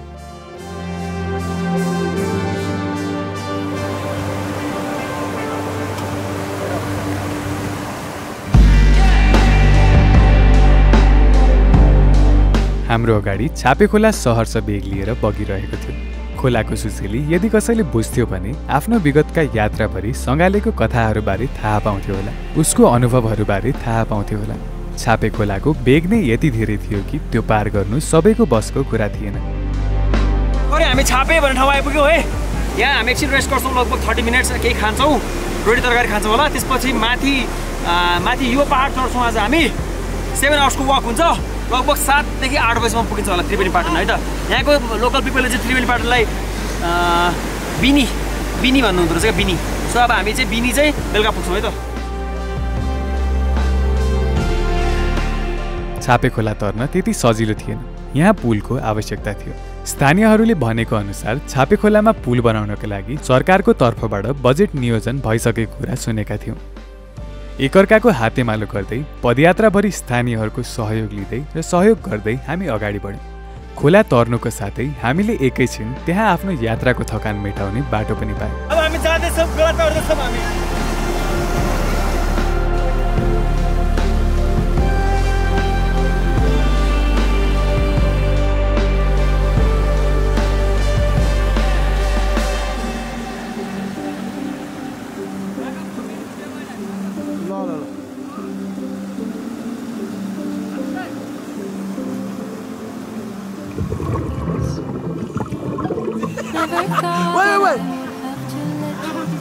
छापे खोलाको चिसो र कञ्चन पानीले सबै थकान हरेर लगेको थियो। यतिका बेरको हिँडाएपछि आनन्दले बसेर पानी पिउन पाउँदा हाम्रो थकान मेटिएको थियो। तर धेरै बेर अल्मलाउनु थिएन। त्यसैले छापे खोलाको बगरमा बसेर खाजा खाइसकेपछि पुनः यात्रामा अगाडि बढ्यौँ.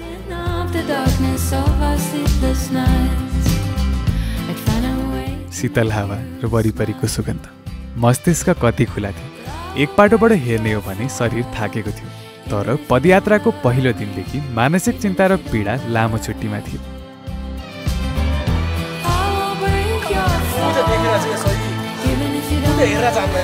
वरिपरि अरू जनावरहरू पनि भेटियो। तिनको स्वरूप पनि उस्तै जीवन्त रहेको थियो उस्तै स्वतन्त्र रहेको थियो। हामीलाई तिनको स्वतन्त्रता रोमाञ्चक लाग्यो। केही बेर त्यसैमा अल्मलियौँ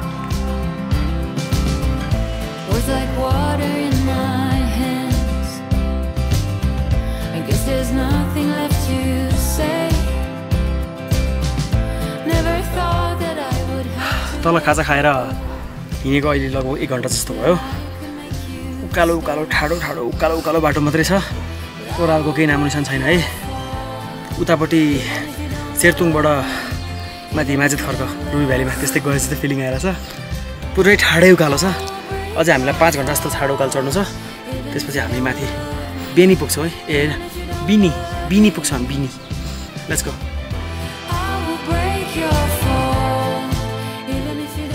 सायद यात्राको सबैभन्दा अप्ठ्यारो भाग नै उकालो चढ्नु हो। आफ्नो बलले भ्याएसम्म नत्र भने कुनै लट्ठीको सहारा लिएर भए पनि उक्लिरह्यो।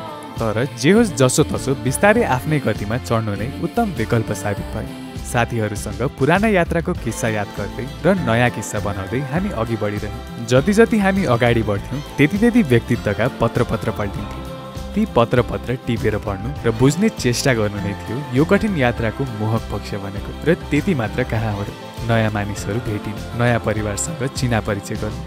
र त्यति मात्र कहाँ हो र नयाँ मानिसहरू भेट्नु नयाँ परिवेशसँग चिना परिचय गर्नु र नमेटिने सम्झनाहरूको भारी बोक्नु। यो नै कठिनभन्दा कठिन यात्राको मिठो फल थियो। भाव शून्य भई त्यो बाटोको अन्त्यमा के छ? कतै बाटो नै नभएको ठाउँमा बाटो पत्ता लगाउनु र कतै न कतै पुग्ने परिकल्पना गर्नु हाम्रो बढीमालिका यात्राको रोमाञ्चक पक्ष चाहिँ भएको थियो।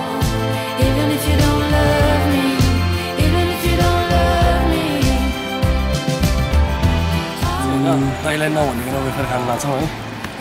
दुईजना मात्र।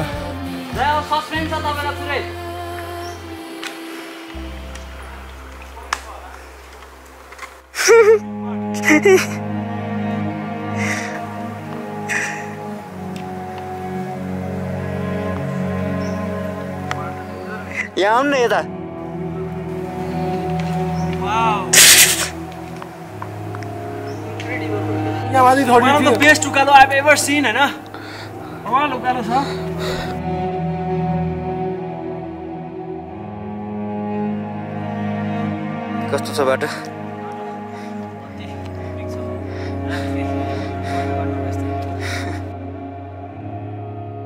हुस्सेले हामीलाई घरिघरि सिरकले ढाके चाहिँ ढाक्दथ्यो भने घरिघरि झ्यालमा पर्दा सारे चाहिँ मौसम उदाङ्गो भएर हामीसँग हाँसो मजाक गर्न पनि आउँथ्यो। हामी मौसमको त्यो मायावी स्वरूपसँग पहिले परिचित भएर पनि होला यसले हाम्रो यात्रामा त्यति विधि भूमिका पाएन। पश्चिम नेपालको आफैमा दुर्गम मानिने ठाउँको पनि यस्तो दुर्गम स्थानमा थियौँ जहाँ हाम्रो टिम बाहेक अरू कोही पनि थिएन। सबै थोक मानवीय उपस्थितिबाट अछुतो रहेको भान हुन्थ्यो। यही भएर पनि होला कालीकोटमा वनस्पतिहरू पाइने सम्भावना धेरै रहन्छ। हामीसँग यदि कोही वनस्पति विशेषज्ञ हुन्थ्यो भने सायद तिनको लागि यी जङ्गलभन्दा उत्तम ठाउँ आखिर के हुन सक्थ्यो? त्रिवेणी पाटन नजिकै थियो। मनमा उत्साह बेग्लै थियो। थकान बेग्लै थियो र मौसम बिस्तारै जाडो हुँदै गइरहेको थियो। तर निरन्तर हिँडाइले होला हामीलाई त्यस प्रकारको जाडोले खासै केही असर गरिरहेको थिएन।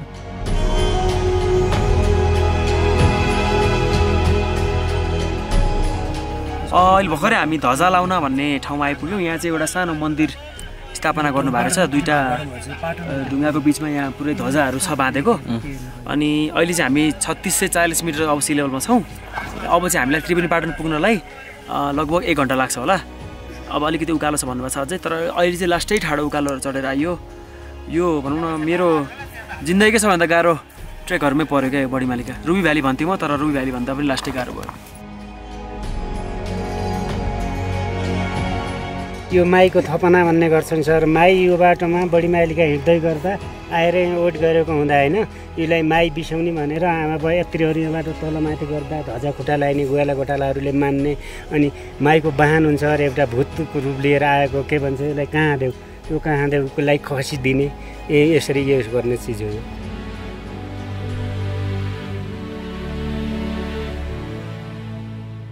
यस्ता किम्बदन्ती सुनेपछि लाग्छ सत्य र असत्यको सीमा पारी पनि कुनै ठाउँ हुन्छ र सायद त्यही ठाउँलाई आस्था भनेर मानिन्छ। हामीले पनि त्यस्तै आस्था महसुस गर्यौँ। माईले विश्राम गरेको स्थलबाट केही माथि आएपछि साना साना रङ्गीन फुलहरू फुलेका देख्न थालियो। हाम्रो आँखा अगाडि त्रिवेणी पाटन नजिकै रहेको दृश्य छर्लङ्ग थियो। यतिका दिनको यात्राले सार्थकता पाउँदै थियो। कुनै निमेष निकै कठिन भयो तर त्यस कठिनाइको परिणाम अतुलनीय हुन्छ भन्ने कुराको इसारा यी दृश्यहरूले गरिरहेका थिए। लाग्यो कि हामी यति टाढा भएर पनि प्रकृतिको बिल्कुल नजिक छौँ बादलहरूको पनि निकै पास छौँ। त्यो उचाइमा गएर भयभरको बल लगाएर चिच्याउने हो भने पनि सायद स्वर नै पुग्ने थिएन के गरौँ के नगरौँ हामी अन्यलतामा थियौँ। यो अन्यलताको पनि आफ्नो रस थियो। पूर्व पश्चिम उत्तर वा दक्षिण। आखिर कता हेर्ने र नहेर्ने? आकाशमा बादलहरूको आकृतिलाई हेर्ने वा अगाडि ठेङ्गो उभिएको हरियो डाँडाका थुम्काहरूलाई हेर्ने? नजिक फुलेको फुलहरूलाई सम्सिम्याउने कि आफ्नो बाटो ठम्याउने? कि यत्तिकै बसेर आफूलाई त्यहीँ डुब्न दिने? आखिर गर्ने त के गर्ने?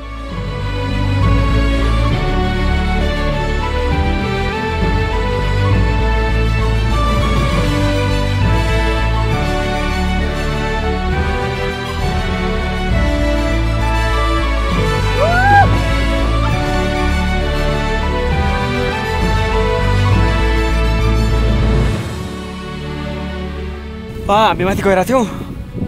एउटा ठुलो पाहाड चढ्नुपर्ने भयो अझै एउटा पाहाड छ पछाडि होइन?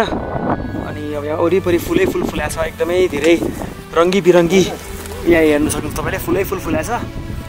अनि अब त्यो अब फर्स्टमा यो माथिको उकालो चढिसकेपछि चाहिँ ट्वेन्टी मिनट जति चाहिँ हिँडेर लगभग यो कटिन्छ होला? त्यसपछि लगभग आधा घन्टा हिँडेर आजको हामी डेस्टिनेसन त्रिवेणी पाटन पुगिन्छ होला है त।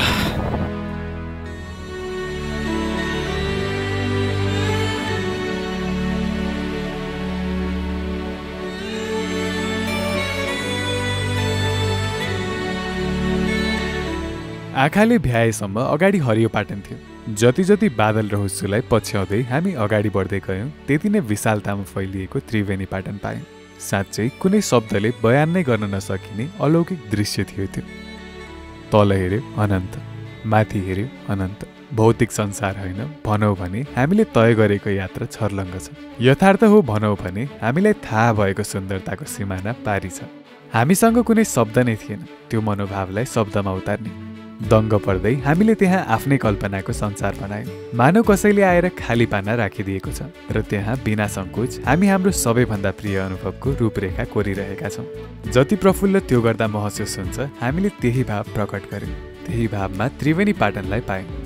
कुनै बाहिरी कुराबाट हलचल नभएको आफ्नो असली स्वरूपमा आफ्नो प्राकृतिक र मायावी स्वरूपमा शून्य भए पनि धेरै कुरा भन्न खोजिरहेको अनन्त स्वरूपमा। हाम्रो अगाडि मैदान थियो विशाल।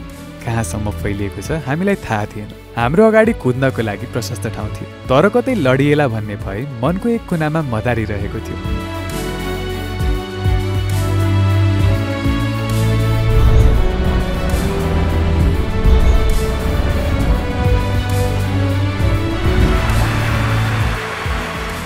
पाँच दिनको निरन्तर हिँडाइ ठाउँ ठाउँमा आइपरेका अनिश्चितताहरू।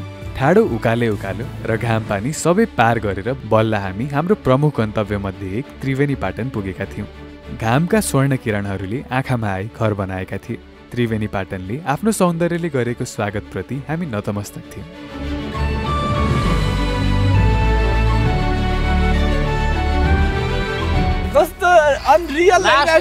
हामी आउँदाखेरि दाइसँग भेट भएको थियो कि। एट वन्डर आउँदै हुनुहुन्छ भन्दाखेरि भइसक्यो होइन जहिले हेरिरहेको हुन्छु कि तपाईँ कतै अस्ति नै लाङटाङ गएको थिएँ कि। तपाईँले भनेको होटलमा बसेको थिएँ कि। छिमे छिमेर इन्जिन र जङ्गल जङ्गल भ्यू। अनि लाइक हुन्छ नि तपाईँको जहिले म हेरिरहेको हुन्छ क्या के सुनिन्छ आयो आयो आज आज आज आज तपाईँको भ्लगमा आउनुपर्छ है म भन्छु। आइसक्यो, आइसक्यो, आइसक्यो। आइसक्यो, आइसक्यो।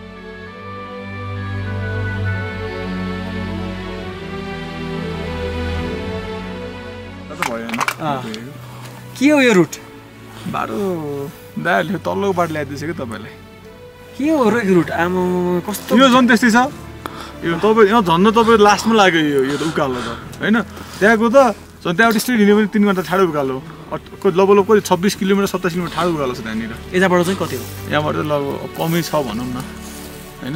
लास्टमा भएर म त्यही मैले त्यसैले चाहिँ तपाईँ अलिक तल बस्नु भयो नि त त्यहाँ त्यो सेटअप व्यवस्था केही नभएर कि? होइन, न त अलिक यतापट्टि आइदियो भए त गुडे हुन्थ्यो। आज डे फाइभ होइन अनि डे फाइभको आज हाम्रो लगभग एन्ड छ। अनि आज हामी यहाँ त्रिवेणी पाटन आइपुग्यौँ। अनि यसको हाइट चाहिँ लगभग थर्टी सेभेन हन्ड्रेड मिटर्समा पर्छ यो। अनि उहाँले नै इन्भि इन्भाइट गर्नुभएको थियो। थर्टी एट अडतिस अडतिस चालिस? Thirty thirty thirty seven chance होला। त्यो थाहा हुन्छ। राखौँ साठी, ल त्यस आइयो। अब त्यस अब बस्ने अब।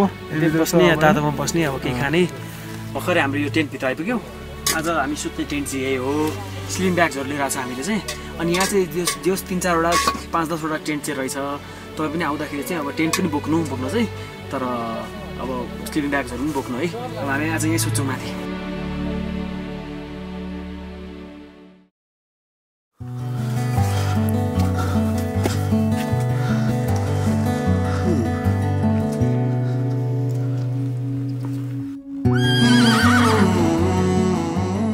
सबेरै उठेर हेर्दा हाम्रो अगाडि त्रिवेणी पाटन लम्तन्न फिजिएको थियो।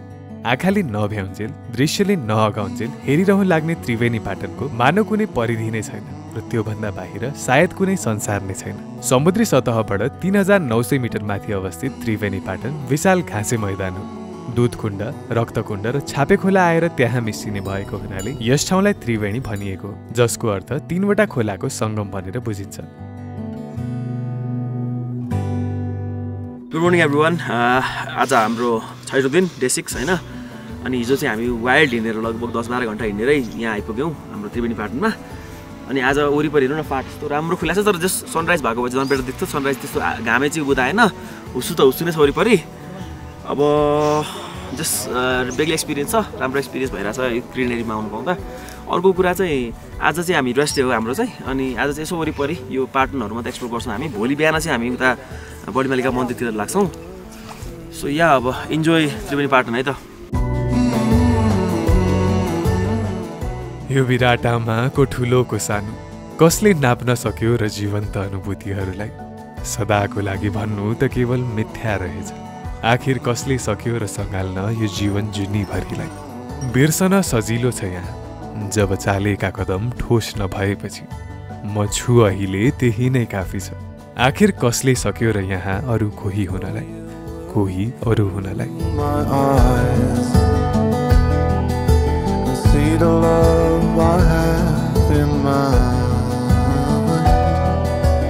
What if I give you some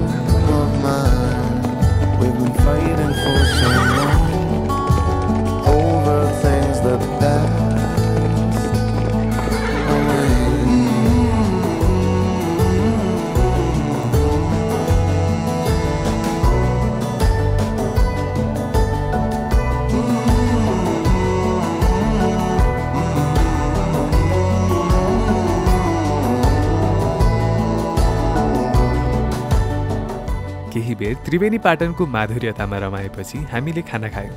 त्यस दिन त्रिवेणी पाटनमा नै रहेर त्यहाँ वरिपरि घुम्ने हाम्रो योजना रहेको थियो।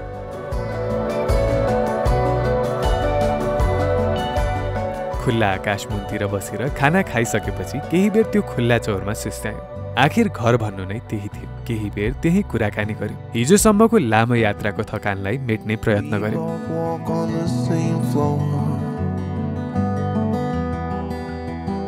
don't share the same ideal. But I'm not दाइ पानी पऱ्यो है आउनु आउनु आउनु भित्र आउनु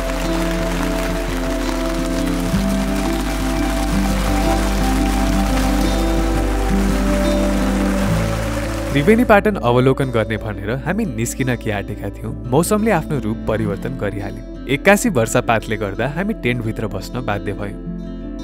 बाहिर अझै पुरै हुस्सु लागेर वेदर केही पनि देखाएको छैन है अनि अघिदेखि हामी भित्रै टेन्टमै छौँ।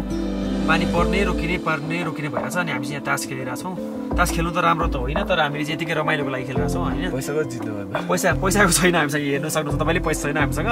त्यसै एकछिन रमाइलो भएर अब हेरौँ म खुल्यो भने चाहिँ सनसेट भ्याइन्छ कि लेट्स यता ओ माई गड आउँछ कि क्या हो? जित्यो क्या हो?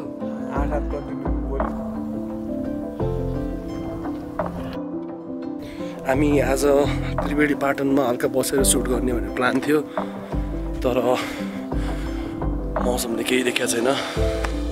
आजको दिन यत्तिकै गयो। हाम्रो एक दिन एक्सटेन्ड हुनसक्छ जस्तो लाग्यो मलाई चाहिँ होइन? अब हेरौँ के हुन्छ। हुस्सुले सारा त्रिवेणी पाटनलाई ढाकेको थियो। हामी आकाश खुल्ने समयको चिर पर्खाइमा थियौँ। तर मौसमले भने अर्कै योजना बनाएको रहेछ। निकै बेर पर्खिरहँदा पनि पानी पर्न नरोकिएपछि हुस्सेले गर्दा ती विशाल फाँटहरूको दृश्य एकाएक हराए जस्तो भएको थियो।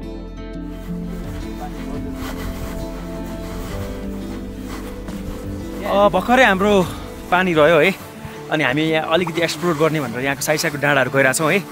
अघि बिहान भने जस्तै जस्तै अहिले दिनभरि हल्का रमाइलो गरियो खाजासाजा खाइयो। चिउरा र हाम्रो दालमुट सालमुट हामीले बनाएर खायौँ। तासले टाइम पास पनि गरायो। एकछिन टाइम पास गऱ्यौँ त्यसपछि अब चाहिँ हामी माथि जहाँ चाहिँ नेटवर्क टिप्ने रहेछ माथि चाहिँ सो त्यो नेटवर्क टिप्ने ठाउँमा पुग्छौँ एनटिसी नेटवर्क टिप्ने ठाउँमा। We have to do some calls घरमा फोन गर्नुपर्ने छ इट्स बिन टु डेज होइन? कुरा नगरे होला हिजो पनि कुरा गर्नु पाएन। त्यही त अब हामी हल्का एक्सप्लोर गर्छौँ बडी मालिका अगाडि बढ्दैछौँ है त हामी ल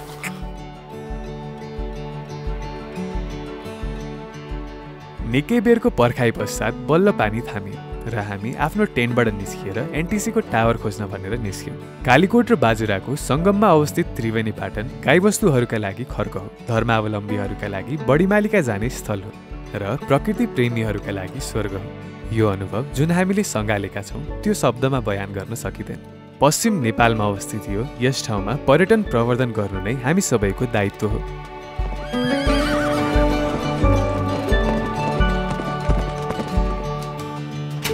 हामी जस्तै नेपालको पर्यटन प्रवर्धन गर्ने उद्देश्य राख्ने भोयजो नेपाल एउटा नौलो ट्राभल प्लेटफर्मको रूपमा स्थापना भएको छ जहाँ विदेशमा बस्ने नेपालीहरूले आफ्नो विदेशी साथी वा सहकर्मीहरूलाई नेपाल घुम्ने प्याकेज रिफर गरेर सजिलै आय आर्जन गर्न सक्नेछन्। आफू पनि घुम्न र देशलाई पनि धनी बनाउन। गर्ने होइन त प्याकेज रेफर आजै भोइजो नेपालको वेबसाइटमा गएर साइन अप गरी एजेन्ट प्रोफाइल बनाएर सुरु गरौँ गर्न रेफर चर्चित ट्राभल एजेन्सीहरूले पनि आफ्नो युनिक प्याकेजहरूलाई यस प्लेटफर्ममा सूचीबद्ध गराउन सक्नेछन्।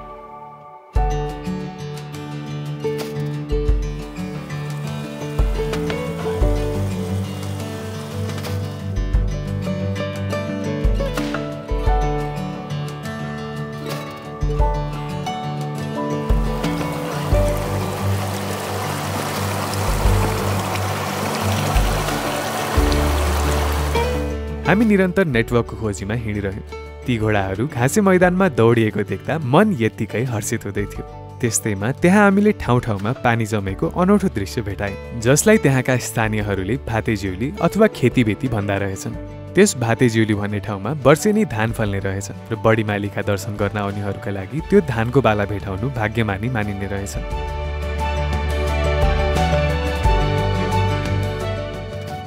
अब त्यो धान त्यहाँ कसले रोप्छ त्यो त थाहा छैन। तर स्थानीयले भनेअनुसार त्यहाँ मैनाचरीले धान रोप्ने कागहरू मिलेर हली समात्ने र सर्पली हल्लौडोको भएर त्यो प्रक्रियामा सहायता दिने किम्वदन्ती प्रख्यात रहेछ। अनि कतिजनाले चाहिँ त्यहाँ साक्षात माइली रोपेको भनेर त्यसलाई श्रद्धाभावका साथ हेर्ने चलन पनि रहेछ।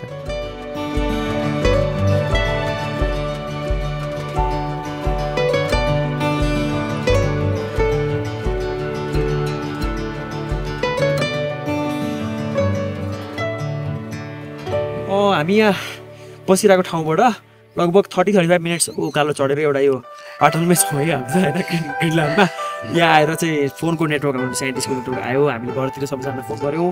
हामी उतापट्टि अब होटेल म्यानेजदेखि लिएर हामी कहिले तल फर्किन्छौँ गाडी मिलाउनु पर्छ सबै कुराहरू गऱ्यौँ कि सो थ्याङ्क्स टु एनटिसी उहाँहरूले चाहिँ यस्तो रिमोट एरियाजमा टावर पठाउनु भएको छ। सो त्यसले गर्दाखेरि चाहिँ अलिकति हामी यस्तो ट्राभल्सहरूलाई एकदमै युजफुल हुन्छ नेटवर्क चाहिँ। एकदम चाहिँ चाहिने कुरा हो यस्तो बिकट एरियामा पनि छ एनटिसीको नेटवर्क सो अब चाहिँ एकदम चिसो छ क्या हुन्छ नि? यहाँ माथि एकछिन बसेको हावाले कस्तो चिसो हानेछ सो त्यहाँ तल गएर हाम्रो टेन्टको अगाडि बसेर चाहिँ हामीले अब करेन्ट चाउचाउ पकाएर तातो बनाएर खाने भन्ने प्लान गरिरहेको छौँ सबैजनाले होइन? वरिपरि हाम्रो यहाँ भवन निर्माण गर्ने दाइहरू पनि हुनुहुन्छ सबैजना मिलेर खाने आगोमा पकाएर खाने भन्ने प्लान गरिरहेको छौँ। सो अब let's go and let's eat दुई दिन पश्चात बल्ल घरमा कुरा गर्न पाएपछि मनको एक छटपटीले राहत पाए। यस्तो विकट ठाउँमा जहाँ मानिस हिँडेर पुग्न कठिन छ त्यहाँ सामान्य सुविधाले पनि हामीलाई धेरै मद्दत गरेको थियो। जे होस् नेपालको कुना कुना खोजदेखि लिएर फाँट सबैतिर एनटिसीले हामीलाई जोडेको छ भन्ने कुराको गर्व लागिरहेको थियो।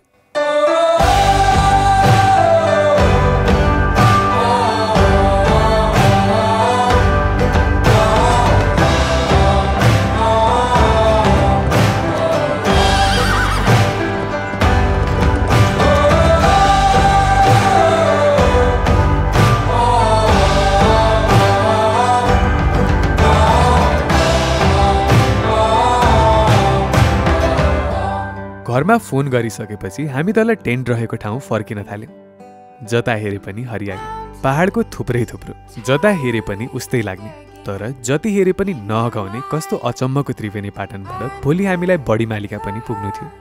मौसम बिस्तारै खुल्दै थियो। चिसोको कारण तातो चाउचाउ खाने सुरमा थियौँ।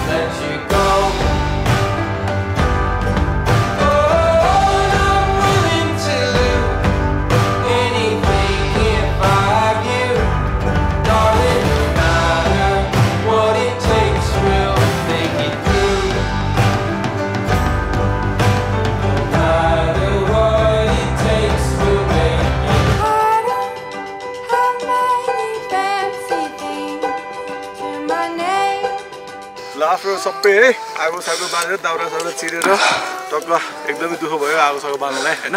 तै पनि ठिक छ चौधो सौधो पाक्यो। अनि सबैजनाले खायो म पनि खाँदैछु होइन? अनि त्यस ठिक छ पिरो पिरो भयो भने मिठो छ चिसोमा पिरो पिरो मिठो हुन्छ है? अब एक खाइदिउँ न केटा अब चियर चाहिँ केटा। ओहो कडा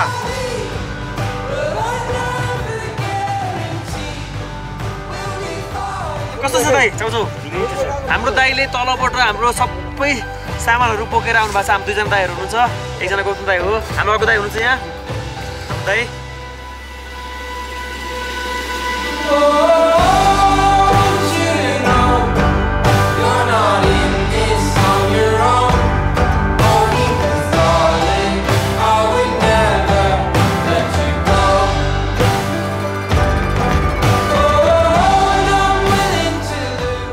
बिस्तारै दिन ढल्किँदै थियो। आकाश सिन्दुरी रङमा रङ्गिएको दृश्यले हामीलाई तानिरह्यो तर मानौ हामीलाई पुगेकै थिएन।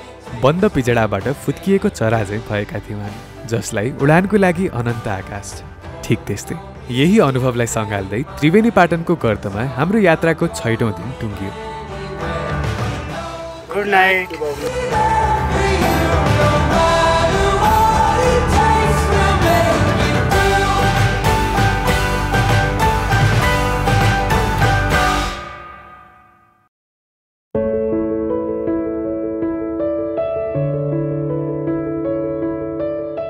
प्रकृति र सुन्दरता। सायद यी दुई यस्ता आयामहरू हुन् जिउनुको जसले हाम्रो अस्तव्यस्त जीवनमा केही रस केही चाख र केही उमङ्ग सञ्चित गरिदिन्छन्। हाम्रो उद्देश्य पनि त्यही हो। सबै पुग्न नसके पनि यो भिडियो मार्फत तपाईँहरूलाई महसुस गराउनु र नेपालको कुना कन्तरालाई दुरुस्तै कैद गरिदिनु। हामी हाम्रो कर्तव्यमा कति चुक्यौँ कति चुकेनौँ त्यो त थाहा भएन। तर यो छ दिनको यात्राले सौगात स्वरूप हामीलाई धेरै उपहार दिएको थियो। अब सातौँ दिनको यात्रा बढी मालिकासम्मको थियो। जसको लागि हामी पहिलो दिनदेखि वा भनौँ यहाँ आउने योजना बनाएदेखि र तपाईँ दर्शकहरू भिडियो सुरु भएदेखि आतुर रहनु भएको घडी बल्ल आउँदै थियो। त्यस दिन मौसमले पनि हामीलाई उत्तिकै साथ दिएको थियो। त्रिवेणी मजाले खुलेकी थिए कुनै सुन्दर फुलको कली जसरी यसले हामीमा थप ऊर्जा भरिदियो।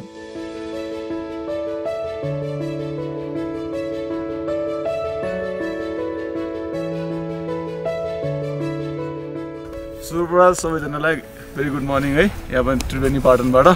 अनि आज चाहिँ डे सेभेन अनि नेपाल एथ वन्डरको टिम आएको चाहिँ आज सात दिन सातौँ दिन हो आज चाहिँ है। अनि उहाँहरू चाहिँ यही टेनमा बसिराख्नु भएको छ। आउनु चाहिँ अस्ति आउनुभएको। हिजोको दिन चाहिँ अलिकति त्यो वेदरले वेदर कन्डिसनले गर्दा राम्रोसँग खिच्नु पाइएन। अनि मैले चाहिँ आज उहाँहरूको क्यामेरा अगाडि उभिएर पोस्ट गरिरहेको छु भनौँ न होइन। अनि उहाँहरू चाहिँ आज आज मौसम राम्रो खुलिरहेछ।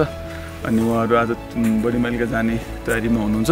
अनि मैले चाहिँ होस्ट गर्नु कारण चाहिँ हामीले यहाँ अब तीर्थयात्रीहरूको लागि भनेर धर्मशाला बनाइरहेको छौँ होइन? अनि धर्मशाला बनाइरहेछन् अनि एकछिन जाउँ न त हेरौँ होइन? उतापट्टि पनि एउटा हल छ बिचमा एउटा कोठा छ त्यसको बिचमा एउटा अर्को कोठा छ त्यसको पछाडि अर्को कोठा त्यसको मतलब कति भनेपछि दुईवटा एउटा दुईवटा हल तिनवटा कोठा पाँचवटा तल छ। माथि पनि माथि पनि एउटा हल छ।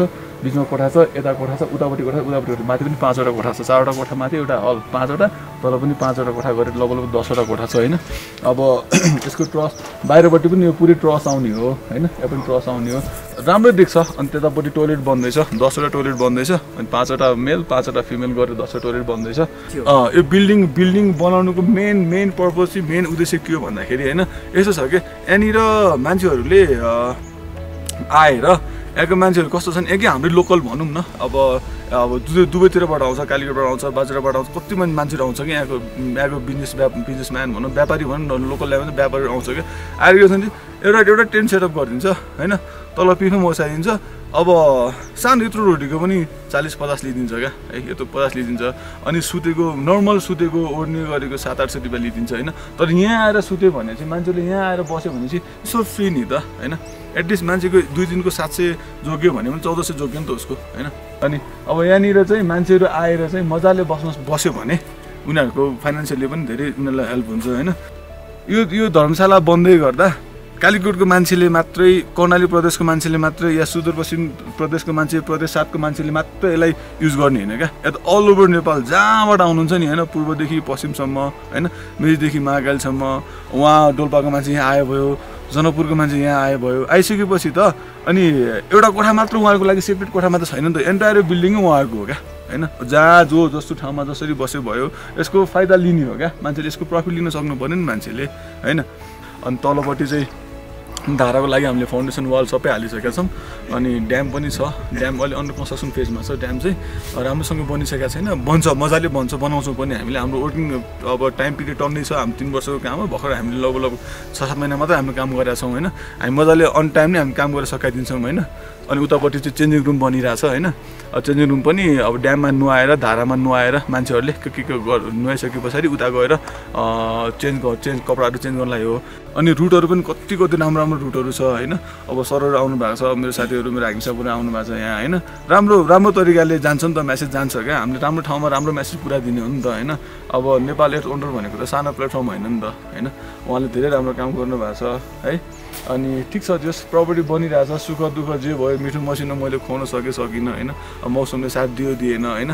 त्यो चाहिँ अब बडी मालिका माईको हातमा छ क्या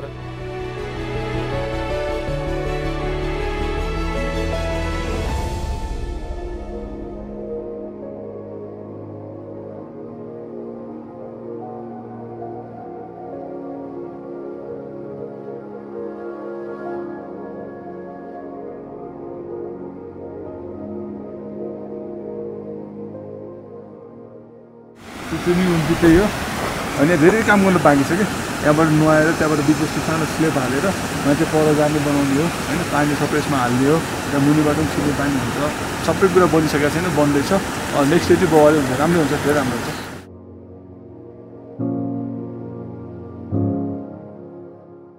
बढीमालिका जानु अघिको पहिलो चरण भनेको यहाँ त्रिवेणीमा आएर नुहाउनु हो। धर्मावलम्बीहरूको सहायताको लागि सरकारको पहलबाट यहाँ ड्याम बनेको रहेछ। हामी त्यहाँ नुहाउन लागि करिब अडतिस सय मिटरको उचाइमा पुगेर त्यति चिसो पानीमा नुहाउँदा एकछिन शरीर नै जमेझै भयो।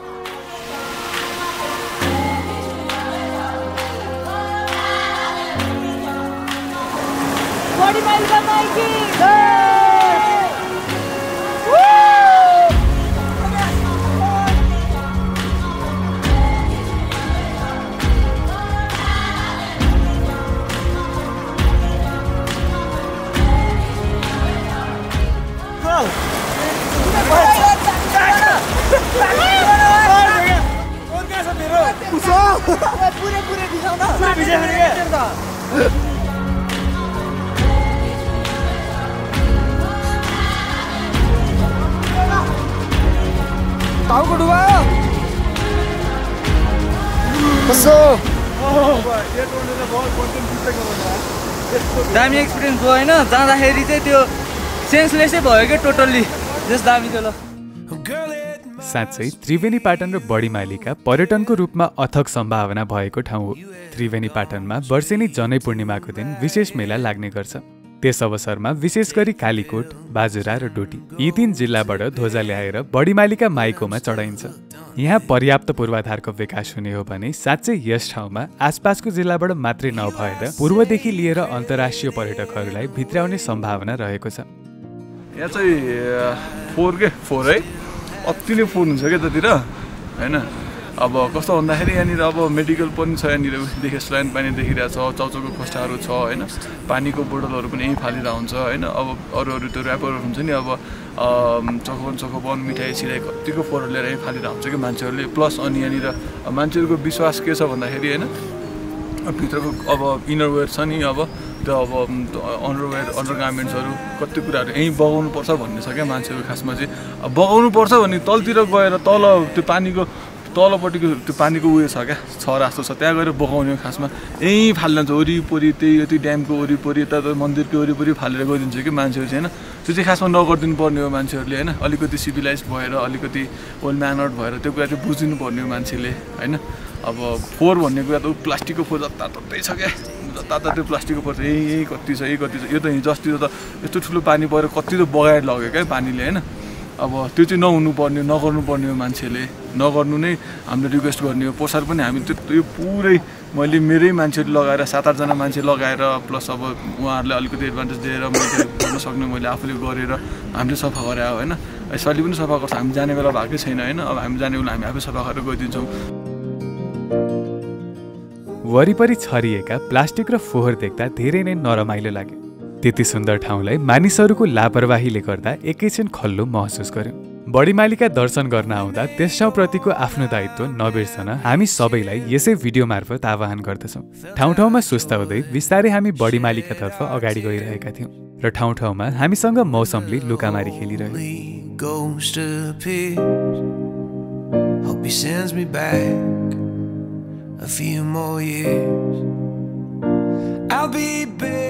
पदमार्गमा हामीले एउटा यस्तो ठाउँ भेट्यौँ जुन चाहिँ स्थानीय अनुसार माई र राक्षस बीच लडाइँ हुँदा माइली राक्षसहरूलाई हराएर खँदारेको ठाउँ थियो। त्यस ठाउँलाई अङ्कित गर्न ध्वजा गाडिएको थियो। यसले हामीलाई धार्मिक स्थलतर्फ जाँदै गरेका छौँ भन्ने भान हुन्थ्यो।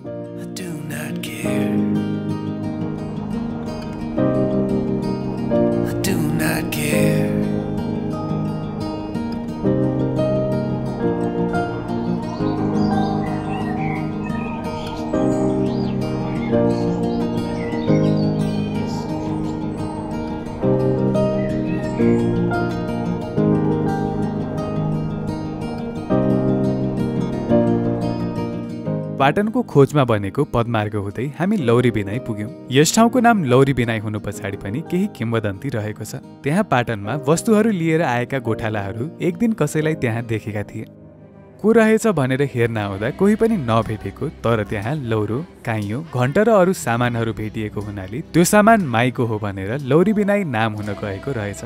लौरी बिनाईको छेउमा पनि उस्तै फोहोर देख्यौँ। कता कता यसले खिन्न महसुस गराए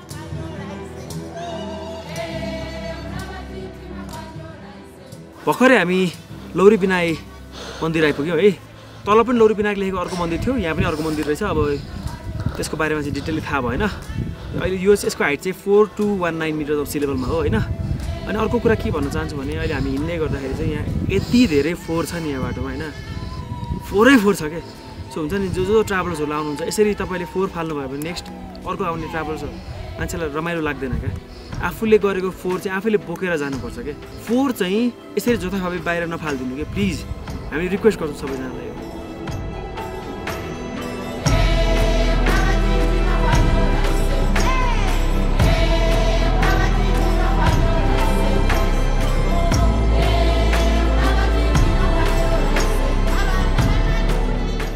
हाम्रो गन्तव्य जति जति नजिकै थियो हामी त्यति नै उत्साहित हुँदै थियौँ। पहाडको खोजमा रहेको बाटो सावधानीपूर्वक हिँड्नुपर्ने हुन्थ्यो। मुम्राबाट हिँडेदेखि यहाँसम्म आउँदा धेरै पदमार्गहरू जोखिमयुक्त रहेका थिए। यहाँ पनि हामीले एक एक पाइला सोचेर चाल्नुपर्ने स्थिति थियो।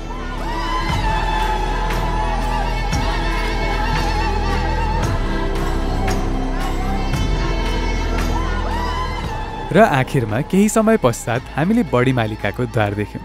घन्टै घन्टहरूले सजिएको बडी मालिकाको द्वार सबैभन्दा माथि टाकुरामा विराजमान थिइन् बडी मालिकामाई प्राकृतिक परिदृश्यबाट एकाएक हामी धार्मिक परिदृश्यमा प्रवेश गरेका थियौँ। समुद्री सतहबाट बयालिस सय मिटर माथि रहेको बडी मालिका पुग्दा संसार नै जिते जस्तो महसुस भयो।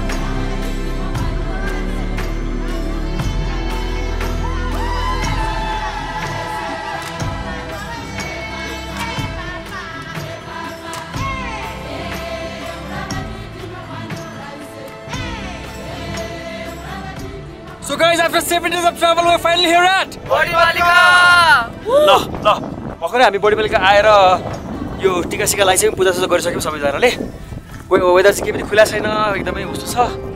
त्यहाँबाट चाहिँ एकदमै धेरै माउन्टेनिजहरू देखिन्छ भन्नुभएको दाइहरूले तर हामीले त्यस्तो हेर्न पाएनौँ। अब वे वेटिङ लगभग एक घन्टा जति कुरेर चाहिँ यहाँ अब के के देखिन्छ हेर्ने हेर्ने प्रयास गर्छौँ।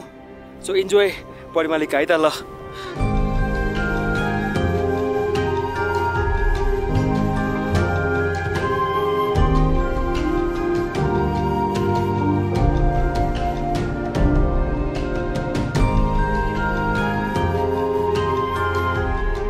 बडीमालिका पश्चिम नेपालमा पर्ने प्रसिद्ध धार्मिक स्थल हो। पुग्नलाई उत्तिकै कठिन तर धार्मिक आस्था बोकेर वर्षेनी मानिसहरू यहाँ आफूले इच्छाएको कुरा पुरा हुन्छ भन्ने कामना बोकेर यहाँ आउँदछन्। सात दिनको दिन बिचमा जे जति कठिनाइ आए पनि हामीले हाम्रो गन्तव्य पुगी छाड्यौँ बडीमालिका स्थापना हुनु पछाडि सतीदेवी र महादेवको कथा जोडिन जान्छ। सतीदेवीको जलेको शरीर काँधमा बोक्दै महादेव ब्रह्माण्ड चाहर्दा देवीको काँध पतन भएर त्यहाँ झरेको हुँदा यस ठाउँलाई प्रमुख शक्तिपीठहरूमध्ये गनिन्छ। एकदमै कठिन बाटो। त्रिवेणी पाटनको तरेली परेको मनै लोभ्याउने भूभाग र कति दिनको परिश्रमपछि प्राप्त भएको हाम्रो सुन्दर बडीमालिका यात्रा यहाँ आएर टुङ्गिन्छ।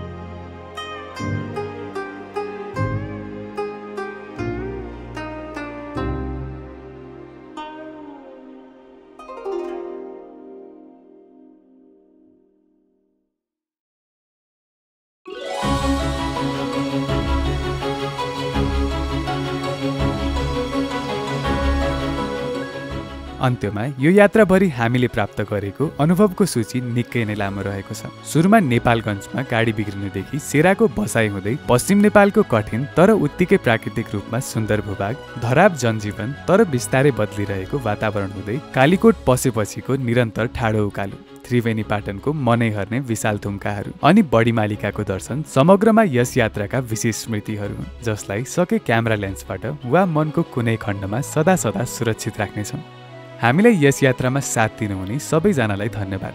मुम्रादेखि हाम्रो सामान बोकिदिएर त्रिवेणी पाटनसम्म सहयात्री हुनुभएका शेरबहादुर सहकारी र पङ्ख केसी दाईहरूलाई धन्यवाद। ठाउँ ठाउँमा बास बसेको र होटल सञ्चालकहरूलाई धन्यवाद।